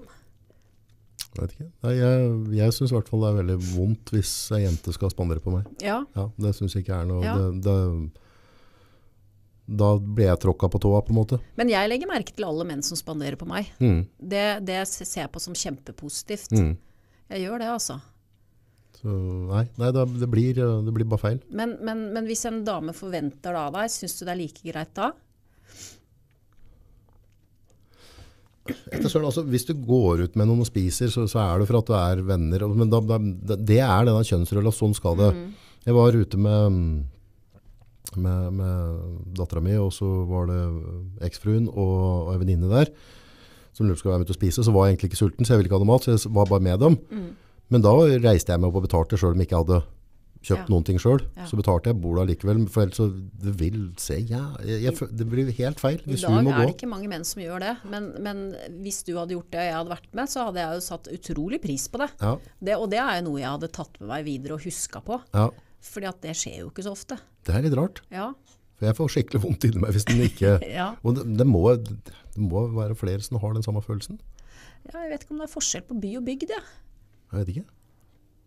Det er sikkert derfor jeg aldri kommer til å få god råd. Da. For at jeg syns det er greit å betale på ting. Jo, jo, men jeg, jeg, jeg vet ikke. Det, det er jo enkelte som går på byen uten penger. Ja. Og det forstår jo ikke jeg Nei. av kvinner eller damer. Og så hva forventer, og så vil de gå på de og de stedene fordi at der er det, vet de at det er menn som har penger og som spanderer. Og sånt forstår jo ikke jeg, fordi at har jeg det hyggeligste, så kjøper jeg gjerne ullen min sjøl, jeg. Ja. Eh, Men er det en hyggelig mann som har lyst til å spandere på meg, så er jeg veldig takknemlig for det. Ja, ja, Og jeg kjøper gjerne igjen til denne mannen. ja. Men, men eh, det er jo noen som da går med tom lommebok, og det, det, der trodde ikke jeg vi var i 2022, altså. ja du mener at det, det skjer ennå? Ja, jeg vet ja, ja, at det skjer. ja. Ja. Det er litt spesielt det òg, egentlig. Ja. For da tar du utgangspunkt i det. ja, og da tenker jeg, eh, som, nå er jo ikke jeg mann, men hvis jeg hadde vært mann, så hadde jeg jo kanskje syntes at det hadde vært litt sånn kjiperen. Da Mm. forventes det jo at det er eh, du som skal spandere. Og så er det jo litt i forhold til eh, hvis du har en, da, en venninne som går ut uten lommebok, Mm. og du drar på et utested, skal du ikke Du må jo betale for bordet du sitter på, liksom. Mm. Skal da venninna spandere da på venninna, eller hvordan fungerer dette? Nei, nei, det vet jeg ikke. Det har jeg ikke tenkt over sånn. Nei, For du kan ikke sette deg ned ved et, en uteservering uten å bestille noe. du må bestille et eller annet. Ja, altså, du kan ikke gå ut kjemisk blakk, det, da, da har du ikke noe Nei, ute å gjøre. Nei, noen gjør det. Det er spesielt. Ja, jeg syns det. Ja, hvis ikke du har med deg kort engang. Nei, Nei, det, det blir rart. Det blir veldig rart. ja. Men noen kvinner er sånn, og det, det er for meg helt gresk. Ja, da, da, er, du spek, da er du spekulativ, da. Ja. Ja, enkelt og greit. Så, nei, for jeg tenker at hvis ikke du har råd til å gå ut, så går du ikke ut. Sånn er jeg òg, da. Mm. Enkelt og greit. Da får det bare være, da ble det ikke tur den. Men, men, jeg, men klart, altså, hvis du er på en Tinder-date, Mm. og mannen ikke klarer å betale brusen din på, når du er på en kafé eller en bar, Det er første røde flagget. det, da, da har ikke jeg så veldig lyst til å møte den igjen. Hva koster den brusen? 50 kroner, liksom? Eller kanskje mer nå, da, for de har jo skrudd opp alle prisene. Men, eller, eller hvis han, ja, han ikke drar opp eh, kortet sitt når eh, servitøren kommer. eh, Det var et awkward moment, da. ja, men da betaler jeg. Betaler, og så er jeg ferdig med det. Ja, da hører ikke han noe mer fra meg. Nei. nei, men det sier veldig mye med han. Ja, Ja, du er ikke, ja nei, det går ikke, vet du. Du kan ikke ha det sånn. Det er ikke sånn det skal være. Nei, i hvert fall den første brusen må man kunne klare å betale. Ja, prøv å gjøre godt førsteinntrykk, da. Ja, Bare ja. gidd å prøve litt. Dating og Tinder er jo spesielle greier. ja. Det Ja. er eh, et merkelig Jeg har en profil der, men eh, jeg er jo aldri inne og gidder jo ikke å svare. Jeg syns det er så meldinger, kjedelig. Uff, det er så kjedelig. Er det? Ja. Hei! Hei. Og Og så skal jeg svare hei. så er det i gang, ikke sant? Men den måten å date på, det jo er litt rart, egentlig. Ja, det er, jo, det er jo veldig sånn kroppsbilde- eller utseendefiksert, da. Veldig. Jeg ser jo på meg sjøl hvordan du sveiper. Du, det, det er jo kun Jeg gidder jo ikke lese hva som står der engang. Nei, nei, nei, nei. for det er ikke noe vits å lese hvis ikke du liker første bilde. Nei, nei. Og det rare er jo, når du ser bilder av folk, Mm. så kan det være mennesker som ikke ser veldig fine på bildet, men i, i real life så er de kjempeflotte, for Ja. de har liksom en utstråling eller et eller annet. Ja. Nei, så det er en litt rar måte å, å bygge opp et samfunn på. Ja, jeg syns det er mye hyggeligere å kunne bli kjent via venner og venner og venner. Ja, Det, det, det, Ja. det er jo kanskje mer normalt. Ja, ja. Ja. Men jeg tror vi aldri kommer dit igjen. Nei, det tror ikke jeg heller. Jeg tror disse Happen og Tinder og alle disse appene, de vil være der. Mange er det nå, tror du? Nei, jeg har ikke peiling, jeg. Det tror jeg. Det begynner å bli noen. Og det kommer jo mye rart der òg. Eh, altså mye interessante hen henvendelser. Så, Er det noen ekstreme henvendelser? så ja, ja, ja. le Det, ja da, vi, nei da, vi Nei, så du kan jo få mm, reise rundt fra mm, leilighet til leilighet på kvelden hvis du ønsker det, da. Ja. Det, ikke, Så det mangler er ikke på tilbud. Det mangler ikke på tilbud. Men jeg har følt at det har blitt et kjøttmarked for kvinnene. Ja, det er kanskje blitt det. Ja, jeg tror det. At det sitter masse sånn desperate mannfolk som skal være med på alt, og så, og så bare sitter jentene og så bare filtrerer. Da. Ja, og så, og så ser du jo mange menn som bare tar copy-paste, og så, og så eh, sender de samme meldingen til sikkert da 50 damer, da, og så får de vel svar på tre, da. Ja, Så er de happy, dem. ja, ja det funka da. Ja ja, så jeg gjør det samme, jeg. 3 av 50. That's it. Bare smukk ut. Bare lag det system. Kryss av liksom point, point, point. Ok, her fikk vi en sjuer. Ok, da kan vi prøve en date. Ja, ja. Nei, datinglivet er merkelig. ja, men så tenker jeg det at eh, jeg syns jo det er litt skummelt å date, men samtidig så tenker jeg at hvorfor skal det være skummelt? Du møter jo bare et nytt menneske, eh, og så får du jo se hva det er. Ja. Men det er jo en sånn klein setting. Er- ofte så er det en sånn kafédate, da. Skal du sitte rett over et bord og prate om tull? ja, du vet. Ja. Noe så Så kjedelig. spesielt. Så blir det jo Alle har jo fått mer og mer, og det er en del av hele systemet, media og alt sammen, så vi alle har fått mer og mer ekstreme meninger. da. Mm. Så det er sånn mot og for. Og hvis du er for det, så er du ferdig. Da er du ikke med i altså, Så folk har Det å finne tonen med folk Mm. er litt bedre. Så bare nå mm, eh, Det var i går, så jeg satt på kafé med, han, med Charles. Mm. Så sitter vi og prater, og så var det pratet liksom vaksine og greier. Da, ikke sant? Att og fram. Og der har jeg en sånn, noen meninger. Litt sånn, nesten litt sånn konspirasjon. Men, men jeg og han kjenner hverandre veldig godt, Ja. så da prater vi veldig fritt. ikke sant? Mm. Men vi var ikke veldig høylytte, for jeg passa på liksom, stemmebruken og sånne ting. Så sitter ei dame liksom bare litt lengre, fire-fem bord bortafor, og så var det ingen imellom oss. Så hørte jeg hun drev og hoffa seg og sånne greier, så jeg hadde en pad der, så jeg tenkte at hun drev sikkert og sliter med en app eller program. Eller. Men da sitter hun og hører på samtalen. Og så sitter hun og offer seg. Ja, så, og det skjønte jeg først etterpå, men, men Men det var ikke noe, det var, det var ikke snakk noe ekstremt, det var bare liksom at du prater på hvor spesielt det har blitt det at, at folk har blitt så splitta. At det har fått liksom en plusspol og en minuspol, og så har det blitt, blitt en sånn splittelse i folket rundt dette. Og hvert fall så reiser jeg og skal gå, og så bare så, kikker jeg på meg og sier, ja, du får ha god helse da, sa jeg. Og så nikka. Så tenkte jeg bare, hæ? Har jeg vært med på den halvtimen nå, liksom? Har jeg ikke trykket på pads, jeg har bare sittet og lyttet inn. Det er sjukt. Da, Da begynner har det å splittelse. liv- Da har du ikke noe liv, da, tenker jeg, hvis du er så interessert i andre folk. Ja, må, men tenk det at, at, at, på en måte at vi har kommet dit hen. ja, At ja. hvis du og en annen sitter og prater på et bord bortafor, Ja, og jeg lytter inn, så lar jeg meg provosere av deres private samtale. Yep. Men jeg, jeg, det var jo, jeg har jo såkalte venner rundt meg Ja, i Oslo som, som jeg ikke kunne få lov å komme på besøk til fordi jeg ikke var vaksinert. ja. Og fordi at de trodde jeg levde fordi at jeg bor aleine, at jeg lever et så utsvevende liv. Ok, ja. Så, så jeg, det, det var ikke trygt å ha meg på middagsbesøk. Nei. Og det syns jo jeg er ganske spesielt, for det, er, det, er det mm, noen det er risiko for, så er det jo de med barn og f- Det med inn ut barnehage. og- Ja, ja, ja. ja, ja, ja. Enn en jeg som lever aleine og mm, er på et kontor liksom, og ikke ser folk. Nei. Men, men ja, det har blitt en splittelse. Jeg føler det. Men eh, jeg håper litt av disse tingene her går seg til etter hvert. Men jeg er redd at ting er blitt mer og mer normalisert, og alle disse pleksiglassene oppe fremdeles. Ja, hva er det det er for noe? Nei, jeg Nå spur, er- spurte i en klesbutikk, jeg, hvorfor har du pleksiglass? Nei, men det er snart influensasesong, fikk jeg høre. Ja, så bare la det henge. Ja. Nei da, så Men vi har vi sett oss. det sånne splitt... Altså, jeg, kan stemme har, har, vi, har vi noen flere eksempler på sånne splittelser vi har hatt nå? Og frykt? Vet når EU, eller EF, så vet jeg det var ganske hett i mange hjem og naboer. Mm. For da var det liksom bumper stickers og nei til EU eller EF, og, og, og mange som lot seg provosere ut av det. Mm. Men har vi hatt, har vi hatt noe så ekstremt på, på denne sida av annen verdenskrig som vi har hatt nå med den splittelsen?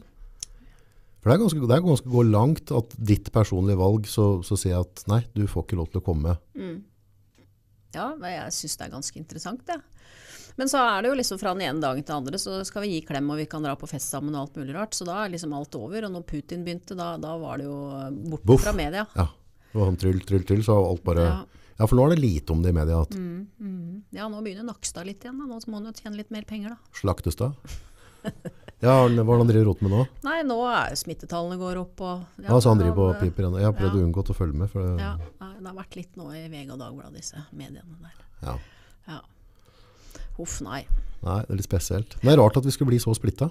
Ja. En så liten nasjon. Men, eh, Og- men du ser jo på, bare på hvordan pride har vært, og, og hva som har skjedd i Oslo, liksom. Altså, er det det er for er jo en slags splittelse, hvis man skal si det sånn. Altså, her prøver noen å feire kjærligheten, og så, og så kommer det en tullebukk og prøver å ødelegge det. Um, Har det kommet noe mer informasjon om hva, hva mindsetet hans var, eller? nei, han vil vel ikke la seg avhøre, tror jeg. Jeg har ikke fulgt med så mye nå i siste. Ja. Men, eh, men eh, klart, eh, dette pride-miljøet, de, eller gay-miljøet, da, de er jo helt, helt overbevist om at det var et det var mot dem, da.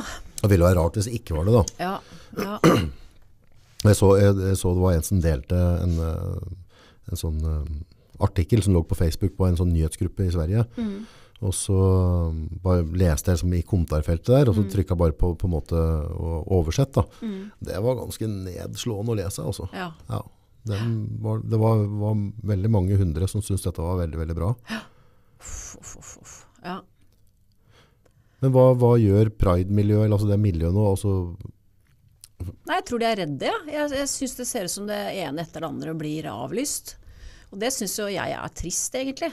ja, Um, men, men det, er, det er en tveegga kniv. For, for Ja. hvis, hvis um, Jeg skjønner jo at dem er redde. mm, Altså, det blir ikke noe mer alvorlig enn akkurat dette der. Det kunne vært mye verre òg hvis den hadde fått drive på lenger. mm, Men nå er det egentlig tida da at vi som da ikke er aktivt involvert i det miljøet, at vi òg er med å gå. Altså, Ja, ja. er det en gang For vi kan ikke bare, hvis vi skal legge liksom det på det, dem som har på en måte gått i de toga nå Ja. Nei, fortsett å gå dette, nei, ikke gi dere. Ja. Ikke bukk under for frykten. Nei, men vi må bli med, vi òg. Ja, da, Ja, må, da må faktisk vi òg stille opp da, som en helhet. For, for det er jo ikke greit. Nei. Vi skal jo ikke ha det sånn. Nei, nei. Nei, jeg hadde jo tenkt å være med eh, både fredag og lørdag. Jeg eh, var hjemme fordi at jeg har jo en del venner i det miljøet Ja, for å støtte opp. Eh, så, men gudskjelov så var vi slitne på fredag, så vi fant ut at vi skulle være hjemme. Ellers så hadde jo jeg vært med de eh, Ja. på London. ja. Så ja du pleier å henge der litt? Jeg ikke pleier å henge der, men hvis jeg er med de, eh, de mannfolka der, så, Ja. så vil jo de mange ganger dit, og da blir jeg med. Ja. Så, så jeg er glad jeg slapp å oppleve det, men vi hadde jo avtale om at vi skulle se på paraden dagen etter, så vi skulle jo møtes klokka ett da på, Ja. på Cæsar, som er rett ved London. Men det ble jo utsatt, og, og klart alle disse gutta der, de var jo helt slagne, for de syntes jo at det her var helt forferdelig. Og det, det skjønner jeg, for det er jo dems måte å på en måte få vise, vise sin kjærlighet. Og de har jo stått på gjennom mange år for å tørre å vise at de har kjærlighet til en mann istedenfor en kvinne. Da. Ja, ja. Og det i seg sjøl har jo vært en tøff prosess for mange av dem. ja, for hvis vi går tilbake til da vi vokste opp, Ja. så var ikke det bare bare. Nei, nei, det var vel eh, Jeg har eh, ei som jeg kjenner som, som, som uh, bodde på Hamar, uh, og som begynte i Søndag Søndag, når det fantes i sin tid. Okay. For der var det Det fantes jo ikke Tinder og sukker og alle disse greiene som, og disse gaysier og de der greiene der. Nei? Så hun, hun gikk inn på Søndag Søndag og, hadde, og så på annonser, for da hadde du annonser der. Okay. Og flytta inn til Oslo for en periode, og, Ja. og fant, seg, fant seg en dame der, da. Så, så og det var, var jo en tøff prosess, tror jeg, for henne.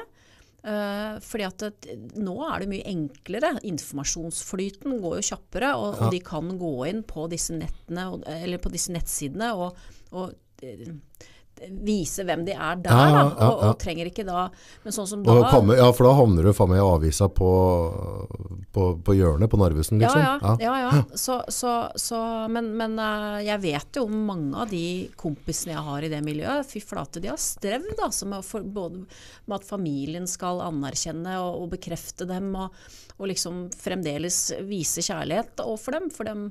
Men de må jo få lov å elske den de ønsker å elske. Ja, er land. uavhengig av kjønn, liksom. Ja, ja. Det er fritt land. Nå har du prata mye med kompisene nå i etterkant. Hva, dem, hva, hva, hva tenker de nå?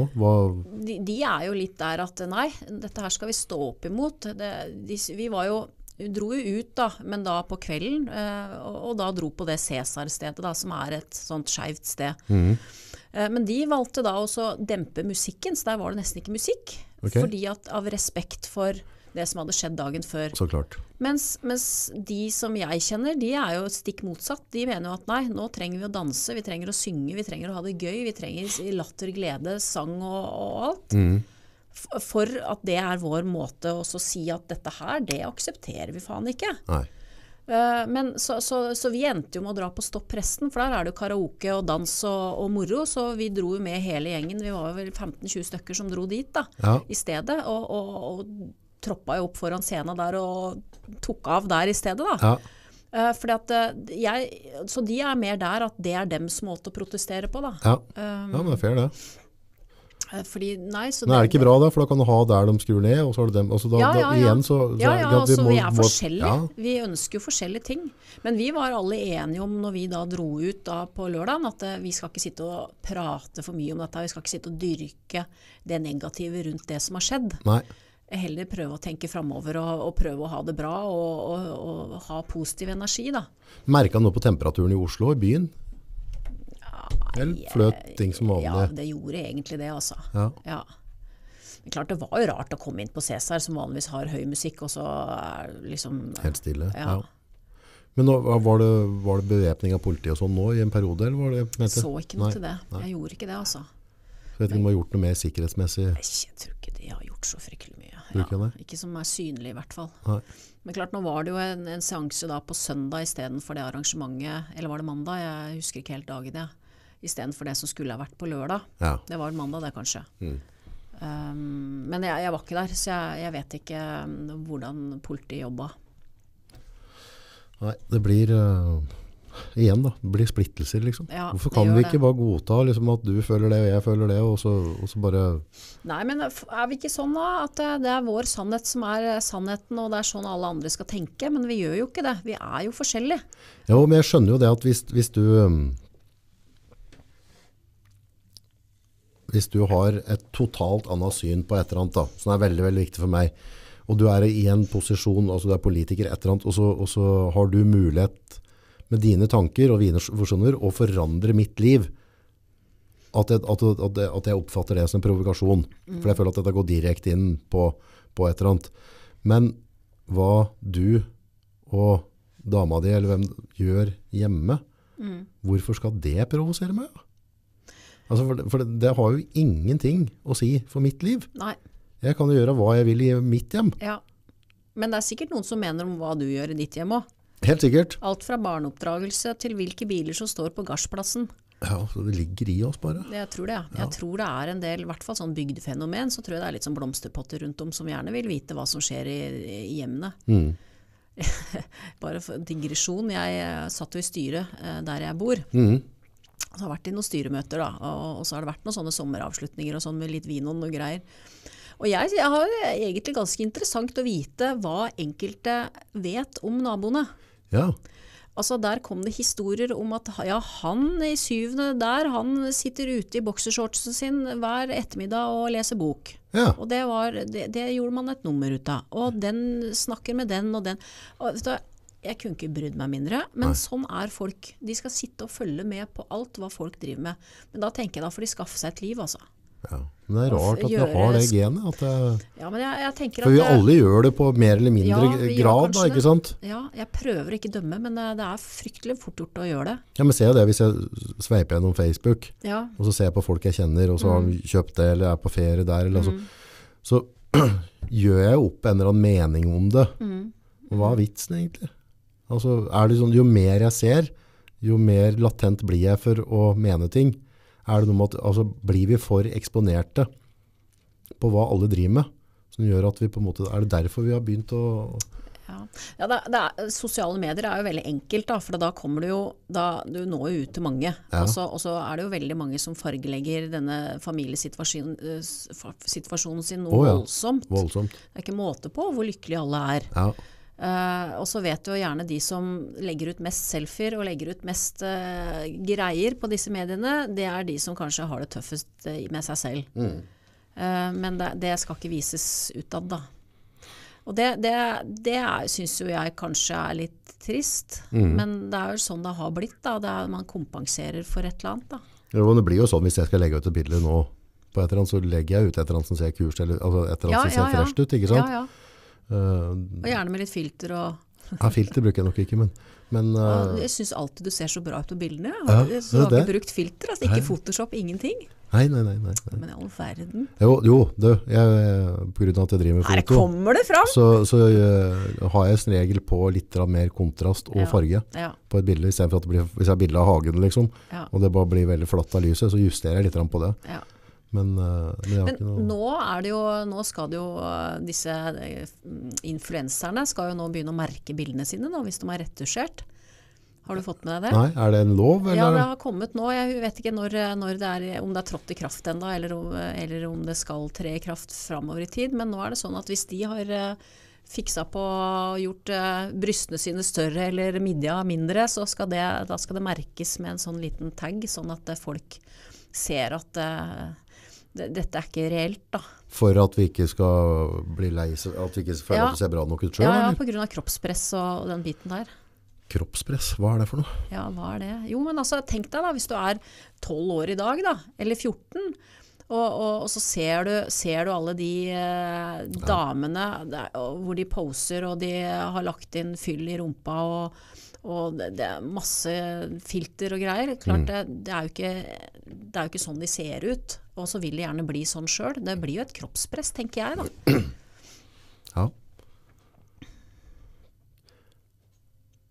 Jeg vet ikke helt hvordan jeg skal forholde meg til dette med kroppspress. Nei. Men uh, For om, om du begrenser det, da Mm. Så jeg tror, jeg tror det kroppspresset kommer til å være der uavhengig. Ja. For da, selv om de ikke får den ekstremutgaven, så vil det alltid være av husene ha litt mer spredt i rumpa enn meg. Vil, altså, det vil alltid, så jeg vil alltid lete etter et eller annet jeg ikke har, men noe du har, Mm. uansett. da. Om det er filter eller ikke filter. Det er bare at du ser på andre. Mm. For det er alltid noen som vil være perfekte i dine øyne uansett. Ja da, og våre skavanker sjøl, de vil vi jo se. Ja. å, å vite uansett. Men, men jeg vet ikke, altså det er, Du ser jo mange av disse som legger ut altså Jeg har ikke noe forhold til det. Jeg bryr meg ikke om de eh, fikser litt her og fikser litt der. Det må de få lov til. Ja, ja. Det, det er ikke så farlig for meg. Men, men klart, det er en fargelegging av hvordan, hvordan de ser ut. Um, og, og, noen som da kanskje har et lavt selvbilde eller en dårlig selvfølelse fra før, eh, kanskje vil streve enda mer. For at det, er umulig å bli sånn.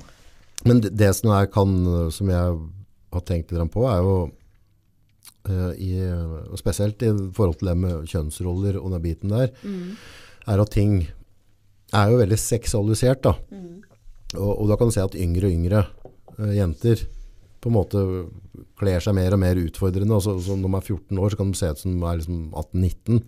Altså med sminke og ditt og datt og, og tights og, og måten de danser på. For de fleste danser nå òg. Altså det, det er jo ikke hallingdans de driver med. Det er, jo, det er jo shake ass, ikke sant? Ja.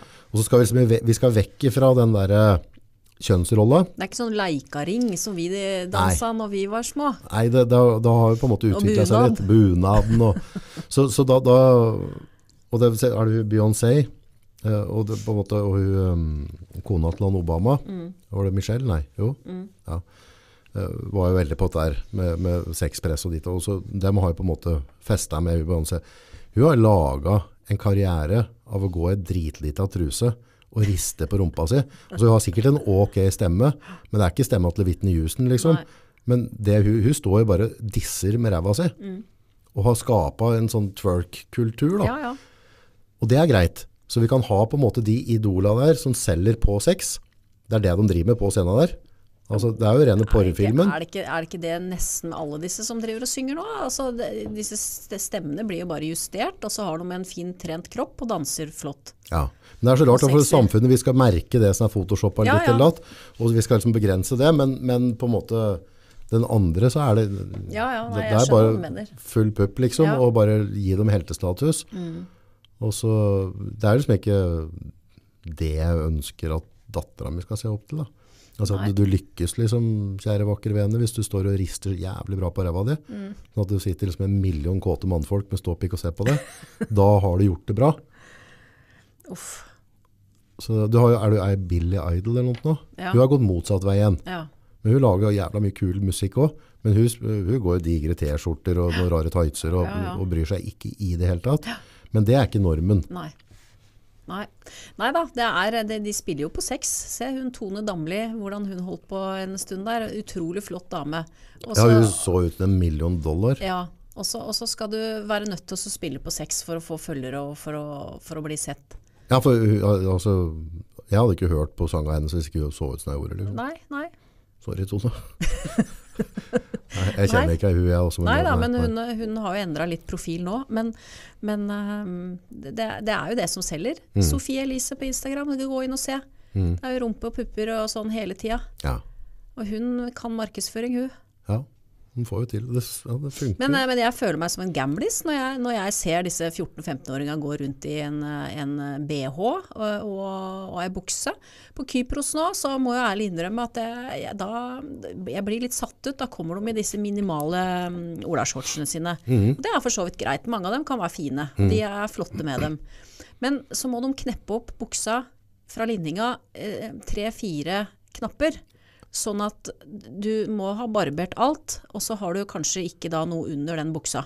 Ok, så Og du det- ser rett hjem igjen nesten. Du ser nesten rett hjem igjen. Og så tenker jeg, hva, hva faen er det du holder på med, liksom? Kan du ikke ta igjen knapp opp? Litt. Nei, altså, ja for, det, for da, da er det sånn gode gamle spørsmål, liksom, hvis du da tar den jenta eller den gutten, eller hvem som, og så bare, hva, og så bare liksom på morgenen før de er på tur ut døra etter de har kledd seg opp, hva er det du ønsker å oppnå med dette her? Ja, så, Altså- da, så da løper de på byen da, med, med de små olashortsene sine, men knappa opp tre-fire knapper. Og så bretter de da ned linninga. Det er liksom det nye nå for disse yngste. Easy access. Ja, det er, det er det, det, det strikken, men det, det er jo sånn mennesker, vi tøyer det lenger og lenger og lenger. Ja, så da begynner jeg å lure på, er jeg blitt for gammel, liksom? Men uh, jeg, altså da blir det litt sånn, da forstår jeg hvorfor menn ser på kløft. Fordi at blikket mitt òg havner jo da Det sier seg sjøl. Ja ja, det klarer ikke å la være. Nei.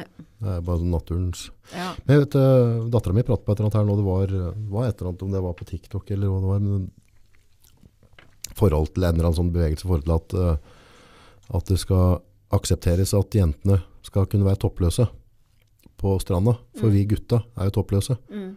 Og, og vi har jo òg nipler, Mm. så det er jo organer. Mm. Så da ble det feil at jentene ikke kunne være toppløse. Ok.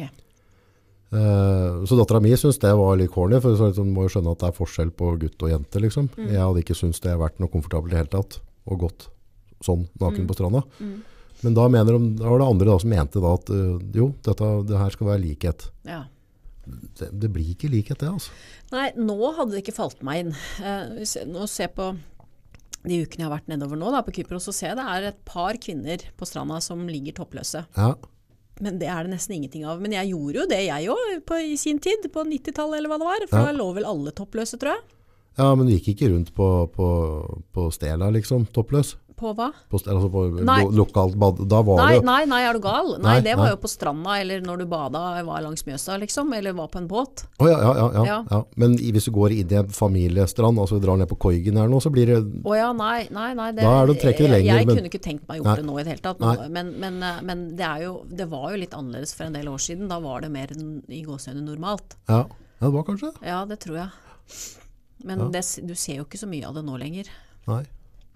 Nei, for du har jo nudistrander og områder, mm. altså områder av strander der det på en måte er mer normalt, og det er Ja. fair egentlig å ha det lille skillet der. Mm, mm. Men, uh, for det kan jo være andre mødre eller fedre som har med unga sine ut, og som synes dette Ja.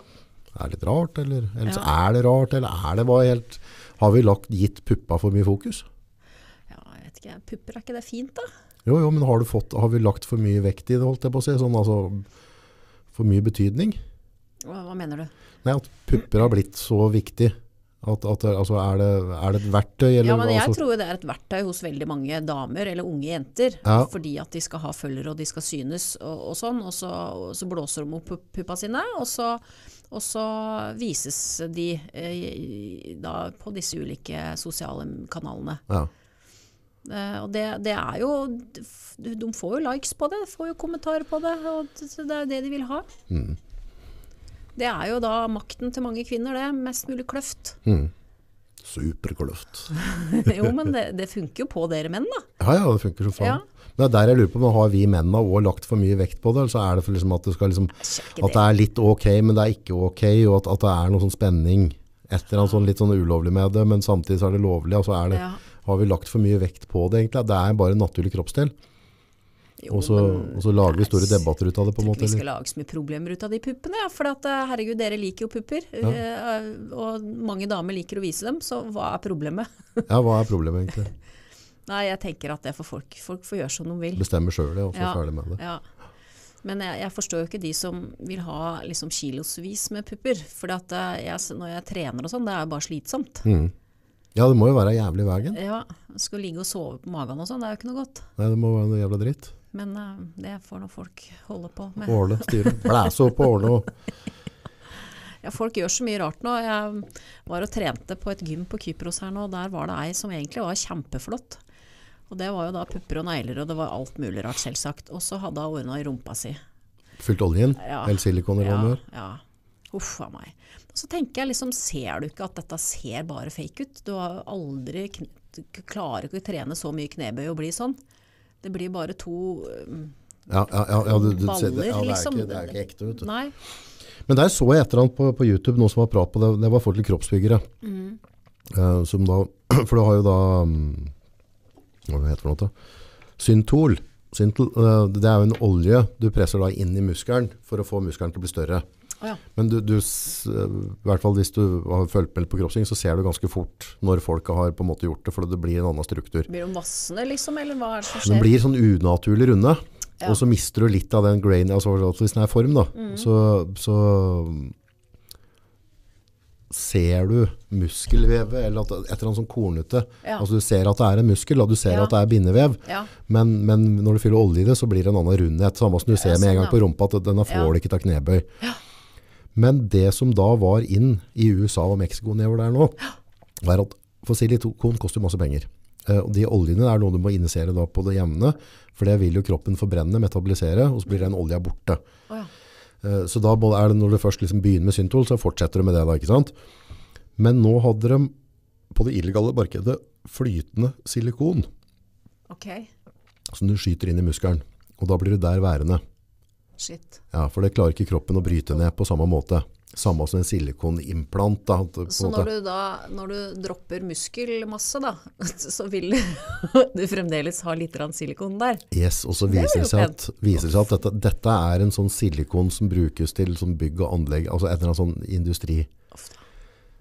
Så der var det folk som døde Ja. og ble syke av det. Ble rett og slett forgifta av silikon og presset inn i kroppen. Det er ganske sjukt, og det var spesielt på jenter. For du ser nå de, de mørke jentene som har midje som du kan omtrent holde rundt, og så har de på en måte eh, en rumpe som er bare enorm. Så jeg lurer på, er, er det noen som har sånne gener? Altså, er dette mulig? Jo, de har jo de genene. Noen av dem har jo det. Ja, ja, ja. Vi, Men det blir, noen dager så blir det det ekstreme. Så Ja, ja. jeg, hvordan klarer du kun å bli tjukk på rumpa og Ja. ha rute på magen? ja. Det går jo ikke. Nei, men det, det- er, de har en litt annen kroppssammensetning enn det vi vikingene oppe i nord har. Ja, Eh, Så noen har det nok Jeg har nok, har nok sett et par tilfeller som jeg tror er ekte, faktisk. Ja. Disse mannfolka der har jo en helt annen kroppsbygning, ja, ja. eh, ja, ja. uten at de har trent noe særlig. Og rumpene deres, de har jo hockeyrumper. ja, ja, ja. ja genetikken på de, på de mørke der, eh, i hvert fall dem jeg ser sånn på, på sosiale medier, altså, den er jo langt over den genetikken jeg har fått. Så, og dette der med smal hofte og, og, og, og brede hofter, da, eh, det, er- er forska på dette der. Så de sier altså hvis du måler rundt, rundt rumpa og, så måler du rundt midja, og så deler du på dette her noe, jo nærmere du kommer 0,70, jo bedre er det på en måte. Ja. Og da er det et eller annet i urmennesket i oss som gjør at vi reagerer på det, for forplantningssystemet er bedre. Altså de, de, har, de er mer fruktbare, og så har de en større sjanse for å kunne føde på en enkel måte. Da. Og derav så er det sånn her, så da har de kobla liksom plugger opp i huet på mannfolk, og så ser de bilder av jenter, og så ser de at det løser ut noen type hormoner. Det samme tror jeg når dere ser, det samme skjer med pupper.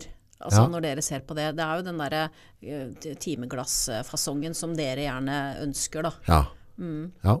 Ja, og det, det handler jo egentlig om forplanting på en måte. Ja, ja. Og, og, så det går visstnok tilbake igjen i genene. Og på, på oss gutta så, så hvis, du, hvis du på en måte ser en mann nede på stranda der, da, eller et eller annet som, som ser bare sånn, oi, du liksom, så mest sannsynlig så er han veldig, veldig symmetrisk. Og da vil si at da skal det på en måte omkretsen rundt leggmuskel, biceps og hals skal være så nært som mulig. Oh, ja. Og så skal det være minst mulig, vi alle er jo usymmetriske, på en, ja, minst mulig skakke i ansiktet og sånne ting. Og det er da bevitning på at du har da veldig gode gener, Ja. som da kan gjøre at avkommet blir sterkere. Ja. Og det er jo også noe damene reagerer på instinktivt, uten at de tenker over det. Så hvis du da på en måte har proporsjoneringa på lengden og høyden og bredden, alt er liksom på en måte riktig, så reagerer du på det. Det er ganske interessant, da. Ja. For når du er på stranda eller du er på en kafé eller et eller annet, hva du snur deg etter. Men, men det, òg er- litt spennende, for det er jo ikke dermed sagt at det du snur deg etter der, er det du faktisk ønsker å leve med. Nei. Fordi at eh, ofte så har du et ideal i hodet ditt om hvordan denne mannen eller denne kvinna skal se ut for deg, eh, men du ender alltid opp med eh, noe annet. Ja. Så, så da vet ikke jeg hva det er som gjør det, om det er en sånn seksuell fantasi overfor det, det, det mennesket du snur deg etter på gata, eller om, fordi at de, de ikke har de verdiene som du da leter etter ja. i, i noe som du vil ha over langen, da. Ja, det, det er det noen forskere som, eller det, som sier da, Ja. at, at kvinner har en tendens, og det har vel vært noe, jeg tror det har vært noe tall på det, at de, på, de gifter seg med på en måte han litt stuslestuggen, han trygge, som kommer til å passe på barna og holde plena i orden og huset i orden. Så er de utro med han Ja. som de ser på, men ikke kunne tenke seg å bo sammen med. Ja. Mm. ja. Og det er, eh, faen, hva har hun hørt da? Kan det stemme at det var sånn herre 30% av alle barn har feil pappa eller noe? Uff da. Jo, men det, det, og det var sånn på verdensbasis. Så var, altså det var eh, altså forhold til når folk Er vi er... så svin, vi kjerringer, altså? Oh yeah. Jeg trodde det var mannfolka som holdt på sånn, jeg. Nei, altså det var det, øh, det- vi kan prøve, Folk kan google det. Men Ja. det, det, er- noe forskning på det. For det, Ja. blodoverføring ditt og datt senere i livet, Ja, ja. så viser at liksom det der, oi, det her stemmer ikke. du kan ikke ta blod herfra, eller altså, du kan ikke få organ fra han eller henne. Altså. Så, og, og det, det var vel sånn der, jeg tenkte på at dette kan da faen ikke stemme. Eller sånn der, sånn en av fire, Ja. eller en av tre hadde feil pappa eller noe. Da. Ja, for det mannfolka klarer jo ikke å styre dette. Dette er det jo vi kvinner som har eh, Ja. kontroll på. Ja. Ja. Så det er ganske sjukt. ja, det er det. Hvis det er så høy prosentandel, hadde jeg ikke trodd. Men Det- det, vi, det må, stemmer sikkert. vi må google det, Ja. så finne ut. Men det, det er ganske Mm. Kan ikke du sjekke på, på Mac-en der, og se om du finner noe på Google? Hm, Spennende. Ja, nei, det, Det er litt krise, da. Ja, det syns jeg. Det, det, det, da er det postmannen, da. Og, eller det trenger det ikke være. Det Nei, er jo den være. kjekke mannen som går forbi, ja. Mm. Det er Ja. de gena som går videre. ja, ja. Det er sjukt, altså. ja. Så, men nå kan godt at det er helt feil. Altså. Men de sier jo det i datingverdenen, vet du. At du, hvis du er på byen, da, Ja. eh, og han, han kjekkeste og flotteste som du reagerer på med en gang du kommer inn, Ja, han som smiler gjerne mest til deg, og som kanskje også oppsøker deg kjappest, ja. det er ikke han du skal eh, bruke energi på. Nei. Du skal se på kompisen hans som står gjerne en halvmeter bak. Ja. Fordi han, han er den som da antageligvis er den som er mer hel ved. Ja. Så det det er jungeltrikset. Ja, det er visst det, sier Ja, de. ja. Du skal se bak, bak han der som glitrer mest, og som uh, Ja, for du Ja. har jo noen ordentlig sånn Don Juan som, Ja, som ja, ja. virkelig kjører på. Ja. Ser du dem ofte la, fra opp igjennom? Er det, er det, er det, ja, Det er er det en ganske prototype? tydelig å se dem, ja. Ja. ja. Så det er ganske morsomt når du da tar den testen der da, og er litt bevisst det. For du kan jo fort bli blenda av denne mannen som Mhm. er, så, er så flott. Eh, men hvis du da eh, ikke går på autopilot da, eh, og ser på han som sitter bak, så, så er det noe bra som kan komme. Skal Du kan lese ja, Du som leser godt. Har det kommet en, har du funnet en artikkel her? Ja, men jeg vet ikke om det er den Far er nesten alltid barnets biologiske pappa. akkurat det motsatte av hva jeg sa. Nå er myten om de mange postbudpappaene knust, står det her. Skal vi se her.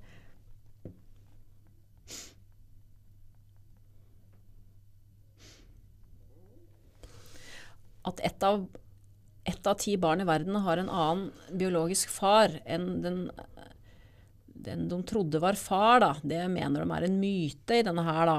Ja. Hvis det er en myte, så er jeg jo egentlig glad for det, da. ja, det var jo veldig bra, da. Her er en annen to av 100 fedre kan være rundlurt. Det er jo ikke så gærent. Tusenvis av barn har ukjent pappa. Her sier de at det er 2% som har en annen far. Ja, det er, det er innafor, tenker jeg. For, Ja. for da, da er ikke dere alle svin, da. Du vet at det, det var jo sånn vet du, før i tida, hvor eh, når mannen var ute på fiske og sånn, så var det jo sånne, mm, Bedekkere. eh, sånne er De hadde jo sånne tegn på huset sitt, som de, enten et, en blomst eller et eller annet de satte ut i vindusposten eller noe sånt, for å vise at nå er mannen borte. Mm. Så nå kunne de få besøk. Yes. Ja. Så det er mye rart vi, vi, vi driver med. Da må du bare ta tilbake alt jeg sa. Det var helt feil. Ja, det Ja. håper jeg. Ja. Så, ellers er det kanskje noen av lytterne som kan, eh, kan eh, oss der. Gi oss noen Hei, linker. det var det et eller annet på verdensmåten. Kan, Du har det fra et eller annet sted, vet du. Ja, men problemet er jo at, at det ligger jo så mye informasjon ute på nett nå. Ja. Så hva, hva er det vi skal tro på, liksom?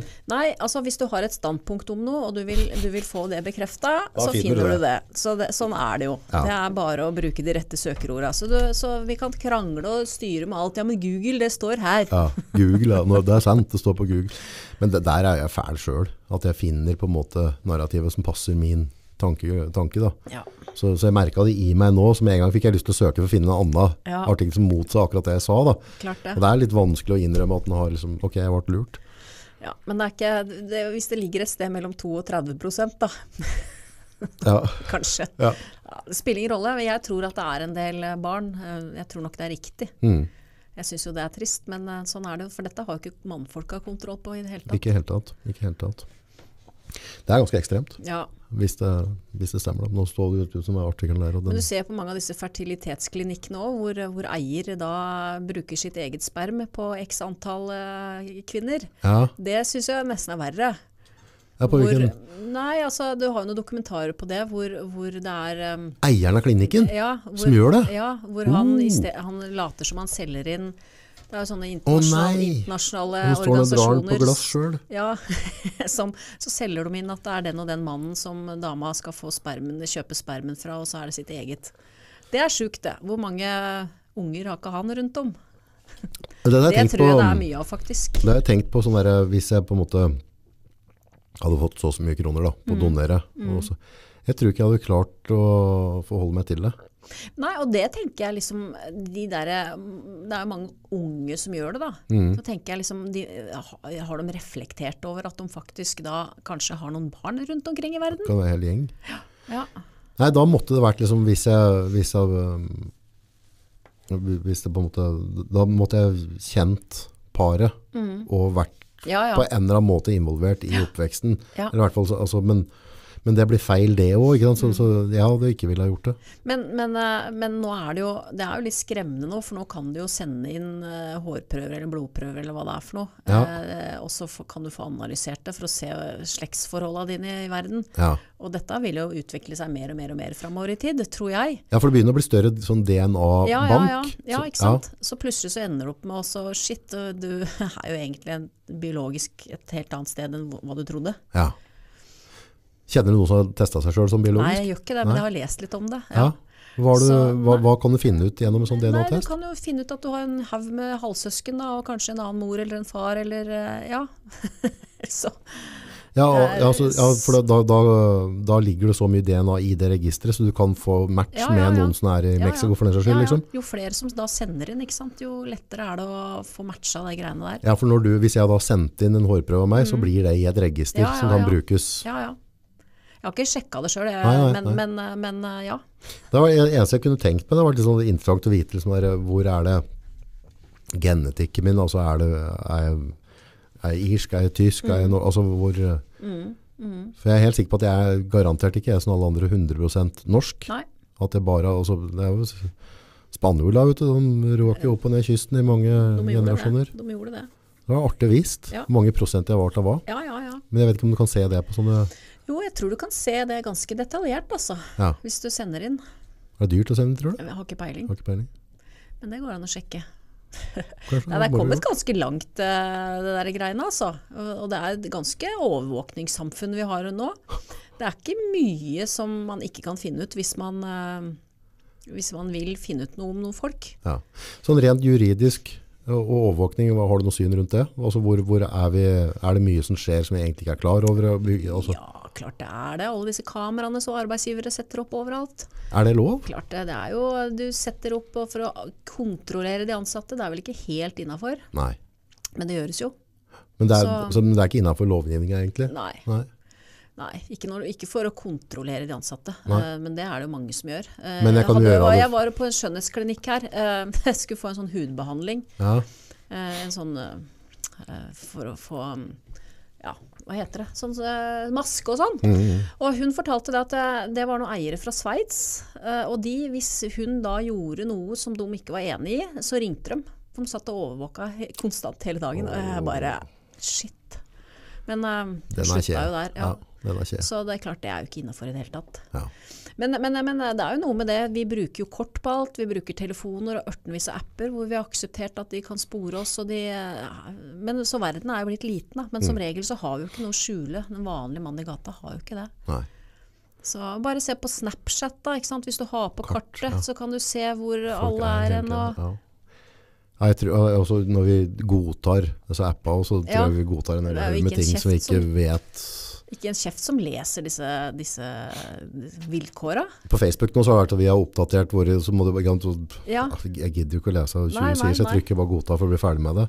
Jeg vet Men, jo ikke hva jeg godtar. Men jeg syns jo en ting som jeg syns er litt rart, det er at hvis vi snakker om et eller annet og bruker, sier vi bruker ordet spark, og snakker om en spark, mm.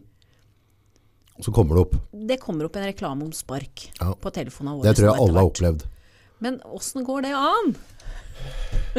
Ja, nei, altså Den tekniske biten av det Ja, er, er null problem. Eh, tror jeg sånn, Uten at jeg kan data, men det, det, altså, teknologien det, det, det er ikke noe å tenke på i hele tatt.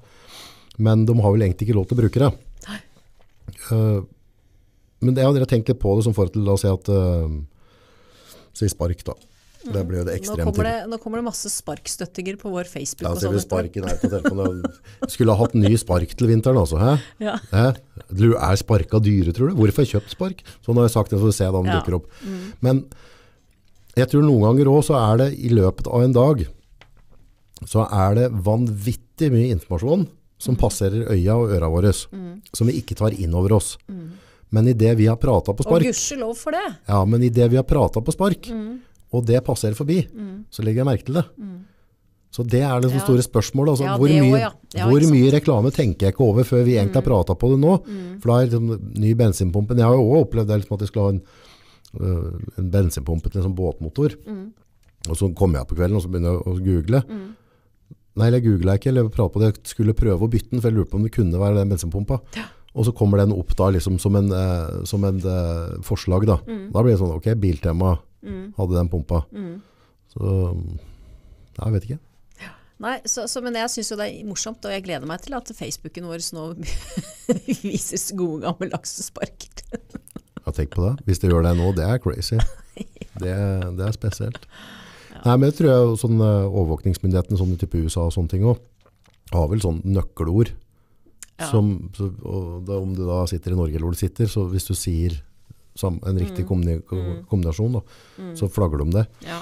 Men, men jeg ser jo sånn som bare den skyteepisoden nå på, på, i Oslo, så, så må jeg jo si at da er det jo bra at det er kamera rundt omkring. I, i sånne, sånne sammenhenger. Ja. Eh, det, det, for da kan man jo gå inn og, og få sett hva er det som har skjedd her. Ja.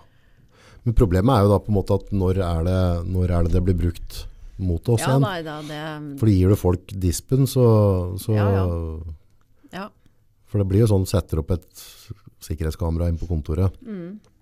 for at du ikke skal ha innbruddstyver eller et eller annet sånt, og Mm. så i neste øyeblikk så, ja. så sitter du og ser på det, og så bruker du det mot deg Ja på en eller annen måte. Så, Ja, altså alle disse som installerer kameraer og sånt noe skjult på hyttene sine og leier ut hyttene sine, eh, og så går det online. Er, er det kult, liksom? Gjør de det? Mange som gjør det. Sitter de da og så ser på kameraene sine hjemme og ser hva som skjer. Problemet er at du blir sjuk i huet av det òg, vet du. Ja, det, jeg syns det er litt spesielt, jeg. Ja. Og, og jeg har jo vennepar som har da både sånne eh, fingertrykk Ja. og sånn på dører og kamera utvendig, så vet de da når samboeren har kommet hjem, eh, når de sjøl er på tur og de har vært ute på byen. Jeg, jeg, jeg liker ikke det der eh, greiene der, jeg. Jeg tror det er sånn rabbit hole. Hvis du begynner der, Ja, så, ja. så kan du fort være ute. Et, et kontor jeg hadde før, så hadde jeg, hadde jeg kamera. Mm. Men det som var motivasjonen når jeg satte opp, var at uh, i en sånn byggefase der, Mm. så tidlig på morgenen, så når jeg var tidlig inne og så ikke lyset var på, så opplevde jeg plutselig at det sto liksom tre-fire håndverkere som oh, ja. hadde fått sånn der, uh, masternøkkel. Så gikk de i feil etasje, eller hva den var. Og så, og så var det et par ting som var borte, men om, det, om jeg får lagt det et annet sted, det vet jeg jo ikke. Så tenkte jeg at dette synes jeg ikke er greit. Mm. For at det bare, folk kommer inn klokka seks på morgenen her på, på en lørdag, og så et eller annet.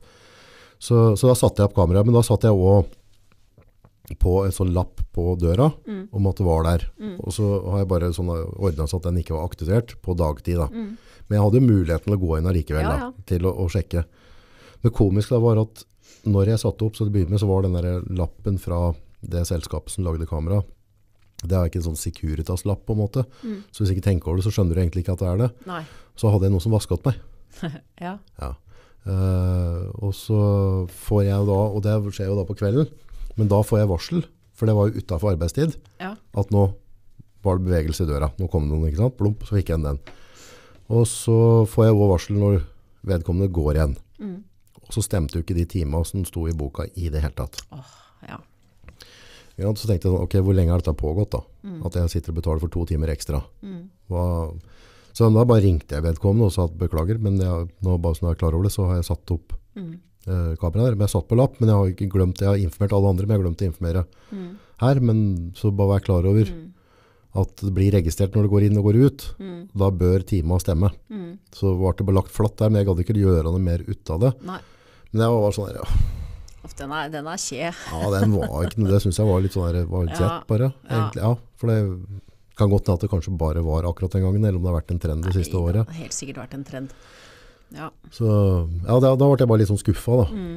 Men, eh, men igjen så vet jeg jo at jeg er jo òg pliktig til å gi beskjed. Mm. Men da vet jeg i hvert fall når jeg hadde dem der, så, så måtte jeg bare ha en sånn policy at jeg går ikke inn og bruker dette som et verktøy. Nei. For hvis du, jeg tror hvis du først går og begynner med det, Ja.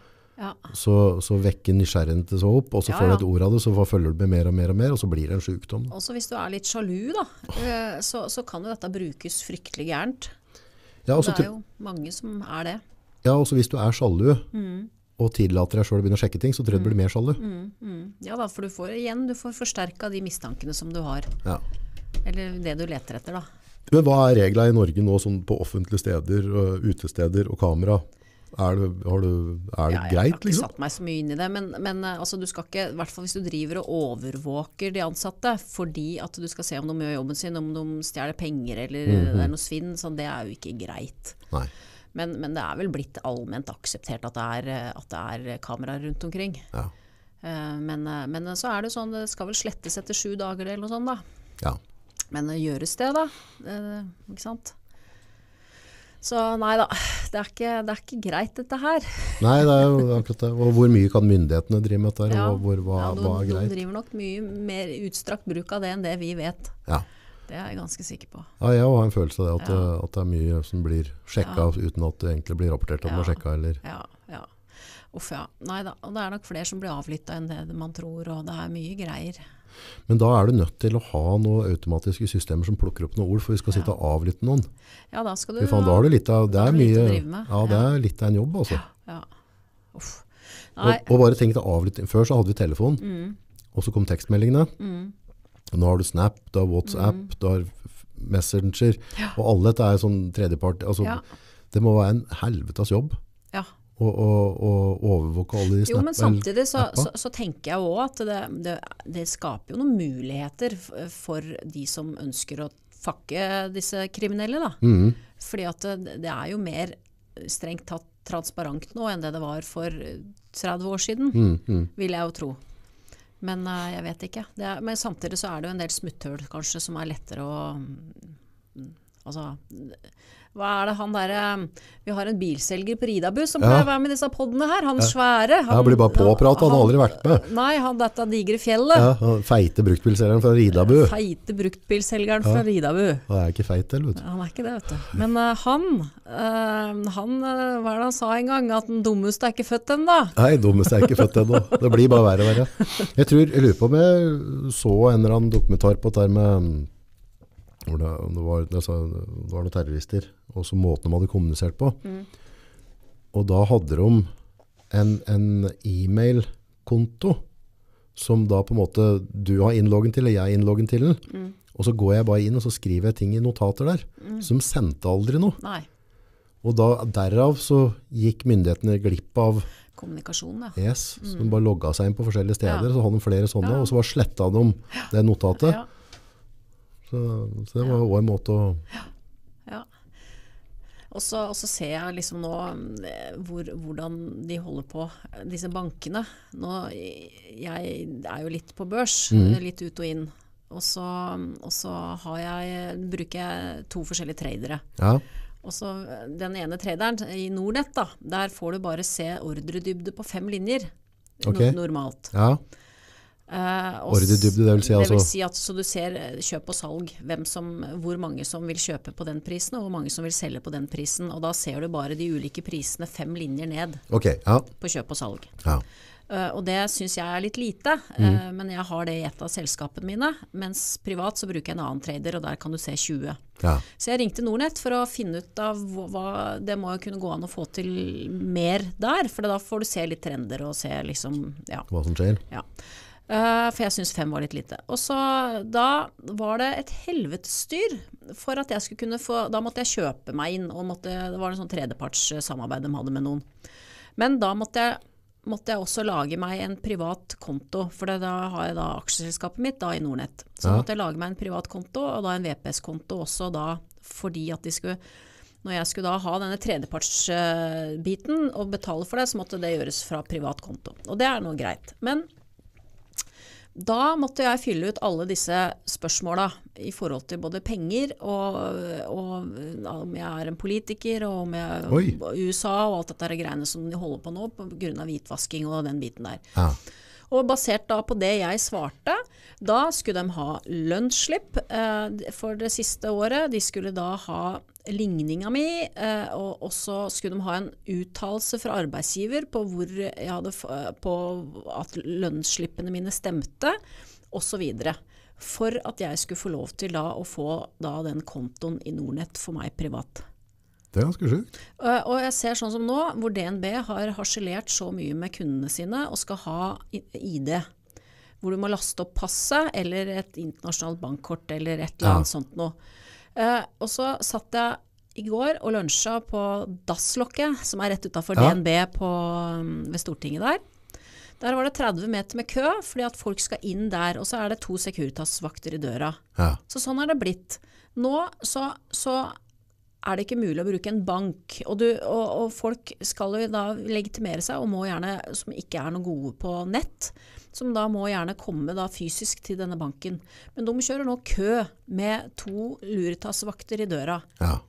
Jeg, jeg syns, syns det er blitt helt på trynet. Ja, Ja, for det, dette var jo når eh, dattera mi skulle ha bankkort. Ja. Så må på en måte jeg og, og, og mora hennes samtykke, og så måtte de da ha pass og ditt Mm. Og datt og styr og stell. ja. Men så når jeg tok det, jeg brukte iPhone, tok bilde med det, så ble ikke den fila godkjent, og så måtte jeg konvertere. Altså det, Ja. Dette var altså, så ringte jeg bare, kan ikke jeg bare komme ned? Kan ikke vi bare komme ned og skrive under? Det er ikke bare å komme ned i bank lenger. Fikk ikke det. Nei. Så jeg måtte få til det. Så, det var, så til slutt så tror jeg bare bytta bank, og så var det en som var litt enklere. DNB er jo den verste nå, da, ut fra Jeg ser bare på klienten nå. De, de driver sperrer kontoene til masse klienter nå, så de, så de må finne Hvorfor sperre da? Nei, de, de mener at de ikke klarer å, å spore penga, da. Privatkonto? Nei, da er det AS, da. AS? Ja. Men de er jo helt ute og kjører. Men eh, de har eh, laget sitt eget regelverk, da. Eller håndhever det strengt, da. Det er vel kanskje det det går på. Ja, for dette er litt sånn i USA og sånn, så er det på en måte der er jo du Hvis du betaler en tjeneste åt meg med Mm. svarte penger, så er jeg medskyldig. Så det er min oppgave Ja. å sørge for at jeg vet at du kommer fra et bra sted. Da. Ja, og så, og så, sånn som nå, så, så må jeg, får jeg, får jeg spørsmål, altså DNB igjen, eh, om jeg skal bruke korta mine i utlandet. Og hvis jeg da svarer ja på det, ja, da hvor mye, og hvor mange transaksjoner, og hvor. Ok. Så, så jeg syns jo dette er gått for langt. Og en annen ting som, som irriterer meg, nå jeg harselerer med Ja, ja, DNB ja. her, fordi jeg har flere av kontoene i, for disse selskapene mine i DNB. Mm. Og da er det ikke nok at jeg har lasta opp ID på meg, men fordi at jeg sitter i ulike styrer, så skal de også ha ID på de ulike selskapene. Men da klarer de ikke å koble at jeg med mitt personnummer har verifisert at jeg er jeg, Så du må gjøre det hver gang. opp mot de ulike selskapene. Og så kommer det da skremmebrev, da. Truer med at å sperre kontoer og alt mulig rart. det er bare hva slags verden har vi kommet til. Ja, Er det bare for at de skal eh, sikre ryggen sin sjøl, eller Ja, jobber de ja, for ja, myndighetene? Eller er de redd for at de skal bli involvert i noe? Nei, men klart de har jo hatt noen saker på seg, så, så klart de er jo redd for De skal jo sikre seg sjøl. Men, men jeg mener det må kunne gå an. Altså, vi er jo en kunde. De må kunne klare oss å se at styrelederen i det selskapet der, ja, hun har verifisert seg privat. Ja. På mitt det er fødselsnummer. Ja. Det, det følger jo. ja. Men det, det er visst ikke så lett dette for DNB, men for alle andre banker så funker det jo. for det er mye enklere. Jeg har jo bankforbindelser i andre banker, liksom. Jeg så bare her på, mm, i fjor, så hadde jeg, hadde jeg en sjukmelding. Og da mm, var det jo og da, da ligger det jo A-registeret hva som er betalt inn av skatt og sånne ting, og lønna mi, det ligger mm. der, så det kan på en måte dem gå og hente inn. Men da måtte jeg på en måte sende det ekstra da, fra arbeidsgiver, at han verifiserte, og lønnsslipper og ditt og datt og styr og stell. og så gikk det litt tid, og så kom det ikke noe, fikk jeg ikke noe sjukepenger. og så var det alt fram og styret. Så måtte, måtte jeg da skrive ut, uh, for jeg får ikke sendt kontoutskriften min, for det nekta banken. Så måtte jeg da skrive ut kontoutskriftene mine for siste tre måneder på min private konto. For da skal dem ha da på en måte bevis på at det som, eh, det som arbeidsgiver sier, og det som går til A-registeret, at det er blitt ført over på kontoen, og at ikke det er blitt ført ut igjen av kontoen. Men det er jo litt sånn spesielt, da, for da, på de kontoutskriftene, så ser du hvor jeg handler, hva jeg handler, hvor ofte kjøper jeg mat. ja, det er altså, sladda. Ja, men jeg tror ikke jeg hadde muligheten. For altså, jeg, jeg kunne bestride det, men det som skjedde da, var at da ville du få en svært redusert utbetaling, og så kunne du anke inn det. Men da kunne det gå et halvt år eller år. da. Ja, Det har du ikke råd til å vente på, for du trenger jo penga. Du er jo sjuk. Så, Ja, det er ikke det du har lyst til å drive med når du er sjuk. Da er det energi på å heles og bli frisk igjen. yes. Men det var, det var litt sånn, det syns jeg var veldig spesielt. Mm. uh, ting er at du brydde deg med å få, få, det, få det til i seg sjøl men, men at jeg da skal liksom sende min private til ei som er saksbehandler som jeg aldri har møtt. Jeg kjenner jeg vet ikke. Jeg vet ikke hvem hun kjenner, og jeg vet ikke hvordan retningslinjer har dem på, er det hun bare som leser, eller sitter de på nabopulten og leser det? Sitter de og ler og ser på det der, ikke? Altså, hva, hva er greia? Ja, nei, det. Og en annen ting som jeg syns er litt spesielt da, når vi er inne på Nav og sånn, det er jo det at uh, mange ganger så, så skal Nav stille i tvil hva fastlegen din har eh, skrevet ut av sykemeldinger. Ja, det er litt spesielt. For å bruke sine egne leger til å finne ut at nei, du er ikke sjuk, du. Ja.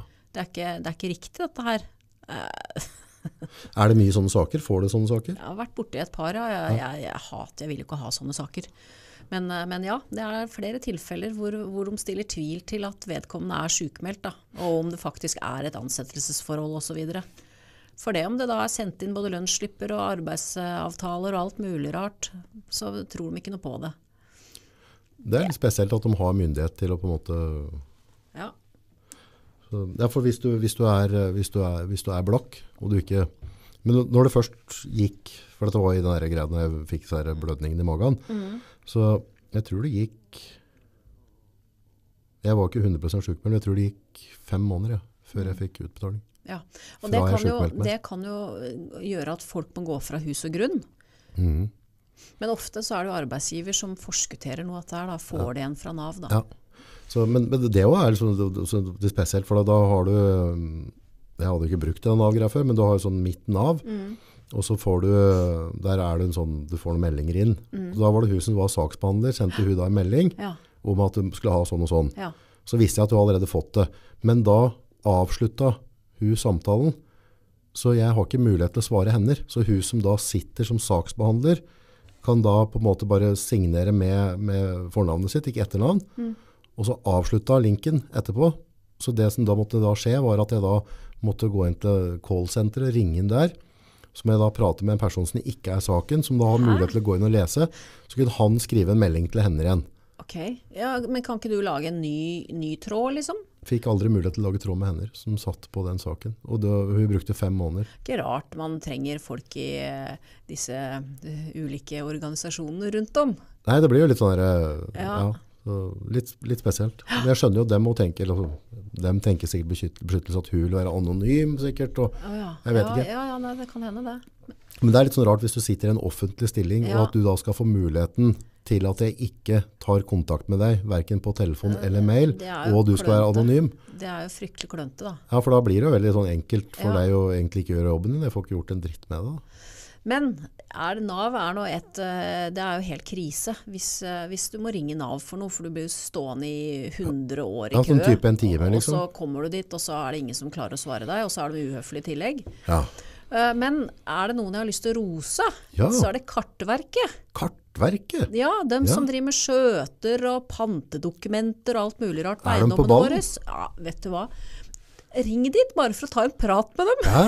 Vet du hva, det er så flinke folk. Så hyggelig! Og de er så hyggelige, så hver gang jeg ringer dem, så roser jeg dem. Begynner med å rose dem.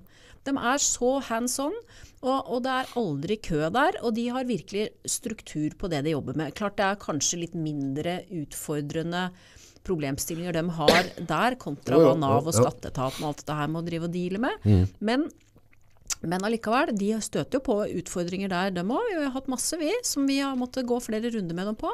Men herregud, så flinke de er. Så og gøy. veilede og ja. Send dem en blomst. Ja, det er nesten så jeg har lyst til å sende dem en blomst.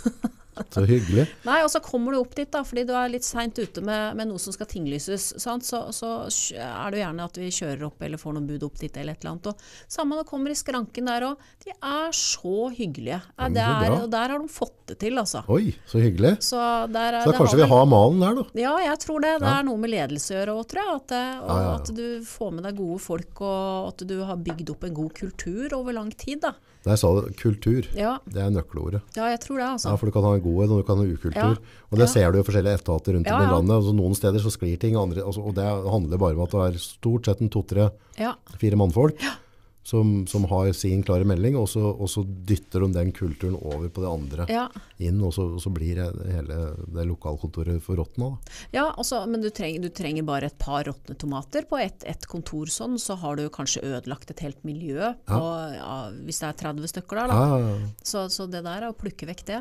Men, men Kartverket, de, det, det må, jeg, de må vi rose. Det må vi rose. Dem som har imponert meg, da, det er en, en stor fæl organisasjon, men det er faktisk Apple. Ja, ja. Eh, For vi har jo en del sånne Apple-produkter som vi bruker i eh, redigering og sånn. Mm. Og der har det skjedd et par anledninger at man ringte inn. Mm. Uh, og dæven for en service du får med å Ja. ringe opp at, og beklager at du måtte vente Ja. så lenge og ha det litt på hold. Og, det, er Ja. Som, ja. nei, det, det var helt sånn overraskende. Apple har jeg nesten ikke ringt, men jeg har ringt i, for jeg fant, fikk, fikk tak i et nummer av noen. Hvis du driver og kjøper apper, Ja. så er det et sånt nummer du visstnok kan ringe. ja. Eh, det er, kan hende det er samme nummeret, det vet ikke jeg. Men, men eh, da eh, lærte de meg dette med hvis du, du blir jo mange ganger lurt til å abonnere på Du trykker på betal og sånn. Og dette kan du jo da ringe dem, og så kan de få sletta det og fjerna det for deg. Stemmer. Og de er jo superhyggelige. Ja, ja for det, det må folk være klar over at uh, jeg vet uh, Lillesøstera mi Mhm. uh, Hun hadde da ikke lås på kjøp app eller et eller annet. Og så satt gutta og kjøpte spill. Og de trodde jo at det var sånn gratis. For du kan jo Sånn som uh, unga mine, de har jo da en, en egen bruker, iCloud-bruker, eller app-bruker. Og da, men der, der har du mulighet til å laste ned det som er gratis. Men hvis det koster penger, så får jeg en forespørsel på å godta det. Men det hadde ikke skjedd der. Nei. Og det var mye penger, jeg tror det var 20 000-30 000 eller noe. Så Ja. hun bare, og dette har vært trekt fra kortet, Ja. og var sånn inn mot ferien, og hun bare, oi, oi, oi, oi. Men da ringte jeg til det nummeret, Ja. og dem bare fiksa opp, for de sa, de sa ja, men vi ser jo det her, at dette, Ja. dette har jo skjedd på en og samme kveld, liksom, Ja. når du var ute og klippte plena. Så dette, dette var jo ikke, Og så er det mange ganger det er sånn der, du er, det går litt fort i svinga når du trykker på disse appene, ikke sant. Så, så, så ser du, ah, og så har du kanskje fått en måned gratis eller en uke gratis, og så er det 300 kroner måneden etterpå. Og da er det greit å ha noen sånne som du kan ringe og få litt hjelp hos, altså. det er jo veldig ryddig på, på Apple der, så når du går inn så har du dine abonnenter, Ja. så ser du hvem som ruller. Ja. Så jeg pleier å gå innom der og sjekke, Det altså, for, det, for det er innimellom så går det på en smell, og så Og det tenker jeg er et kjempegodt tips til eh, Åssen er det du gjør det til lytterne våre? Ja, vi, det er jo i forhold til du har Apple, da. Um. Mens du leter, så tenker jeg også det at bare det, alle de der Hvor mange har vi ikke? Netflix, Spotify, HBO, Viaplay. Altså at vi At folk prøver Ja. å ha litt Er det en tom for strøm? Ja. At folk prøver å ha litt kontroll på uh, Kontroll på hva de har av løpende månedlige kostnader. Fordi at det, det, er, det er jo gjerne sånn at vi, en hundrelapp her, 200 kroner her, det blir noen tusen i, i måneden etter hvert, det altså. Det blir veldig mye. Så det tenker jeg tips. Sjekk ut det, og sjekk hvor mange løpende apper dere har. Skal se du klarer å spare, spare litt kroner til å betale strømmen og de dyre bensinkostnadene. Nå står en August her og lurer på hvilket batteri som skal inn i hølet.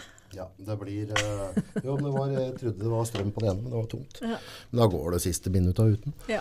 Men ja, nei, for det, jo, du på, hvis du går inn på, på det tannhjulet på, på appen din, og så øverst opp der så har jeg en sett August Nord. Der er apper, iCloud, medie og kjøp. Trykker jeg på den. Og der har jeg en som heter abonnenter. Så trykker du på den. Og da kommer alle abonnentene, da kommer abonnenthistorikken din, hva du har hatt før. Og så kommer det hvem som, som står og ruller nå da. Da har jeg mulighet, da, for, for da har du aktive abonnenter da. Så der har jeg, jeg, gikk, jeg kjøpte den uh, Amazon Prime, Mm. 65 i måneden. Å ja. Mm. Og den, uh, den fornyes nå i august. Men den, uh, der er det mye serier og filmer. ja. Ja, Ja. for 65. Jeg ser her at jeg har noe abonnement som har løpt ut. Ja, Det er bra, da, for da har jeg ikke hatt sånn der automatisk fornyelse. nei, ikke sant? Uff. Nei, det, blir, Ja. nei, det er som sier, det blir veldig, veldig mye penger ut av det. Ja ja, hvis man begynner å se Ja. på det. Også da kan man grine på nesa og strømkostnadene, men det blir noen tusenlapper av der greiene der òg, altså. Voldsomt, voldsomt. Så det, men der er jo sånn som nå, så nå kommer jo ikke den, for jeg har vel den um, stream. Og der mm. tror jeg jeg måtte legge inn med, med vanlig bankkort. Ja. Så den kommer ikke opp her nå som løpende. Så den lurer meg litt. For Mm. streamen nå er en del kroner. ja. Jeg har sjakk, og så har jeg YouTube. YouTube pluss, bruker du den? Nei. Det er, for meg så har det i hvert fall Hva er det det er i måneden for den, da? 149. Ja. Mm. Da slipper du all reklame. Ja. ja. For nå er det som regel én og to eh, snutter, ser jeg. Ja. Og det er veldig irriterende, syns Ja, jeg. Ja. ja. Så, så da slipper du all reklame der, og så har du muligheten For veldig mye av poddene ligger jo på YouTube. Mm. Sånn som det her og kommer jo på YouTube. Og da har du mulighet til å lokke telefonen, Ja. låse den, Ja. og så går det fortsatt og spiller. Så hvis Ja. det er på tredebølle eller et eller annet, Ja. så kan du bare lokke inn samme som du gjør med Spotify. Ja. Og så har du mulighet til å laste ned. ja. Ja. Så at hvis du da har 4G-nett Mm. og vil spare litt på det, så kan du laste ned når du er der du har wifi, og så kan du se på det offline da, på flyet eller hva du vil. Smart.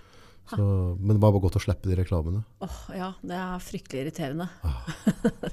nei, nå skal jeg bli sånn der eh, YouTuber. Så nå se TikToker. Nei, og TikToker òg. Ja. Men uh, nå skal jeg begynne å se mer dokumentarer på YouTube. Utrolig da, mye bra der, altså. Da, da må jeg vel kanskje skaffe meg sånn pro-greie, da. Ja, det kan Ja, være- så skal ja. jeg bli TikToker, vet du. Så TikToker. spennende. Der òg ligger det masse antagelig, så jeg har begynt litt nå. Ja. Der ligger det mye på, på, på YouTube om Mm. sette opp hvordan algoritmene ditt og datt og styre og Mm. Så der er det garantert mye bra ja, ja, ja. Spennende, altså. forklaringsvideoer. Ja. TikTok, jeg har tenkt på det. Det er gamlisa gamlis på TikTok. Ja, det er kult, det. det er kult. Nei, men du, Ja. dette var kult. Ja, Ja, ja, det var hyggelig å være her. takk for en hyggelig samtale I igjen. like måte. Og så må folk bare bruke det. Du er jo advokat, ja, hvis det, og når du er i området, så svinger du innom. Ja, ja, ja. Så da, hvis det er noen som har noen spørsmål rundt det, så er det bare å smelle på, så kan du forberede deg litt. nå. Ja, så, ja, ja, gjør det. Gjør Det er det. Det er bare morsomt. ja, det er moro. Aldri dumme spørsmål. Hvor kan følge deg på TikToken? Det var altså Å da, gud, ja, hva var det? Frøken eh, Brex. frøken Brex. Brex, hvordan skriver du det? Stavler det? B-R-E-X. Enkelt og greit. Brex. Mm. Kult. Ja, herlig. Konge. Setter pris på det. I like måte. like måte. Tusen takk.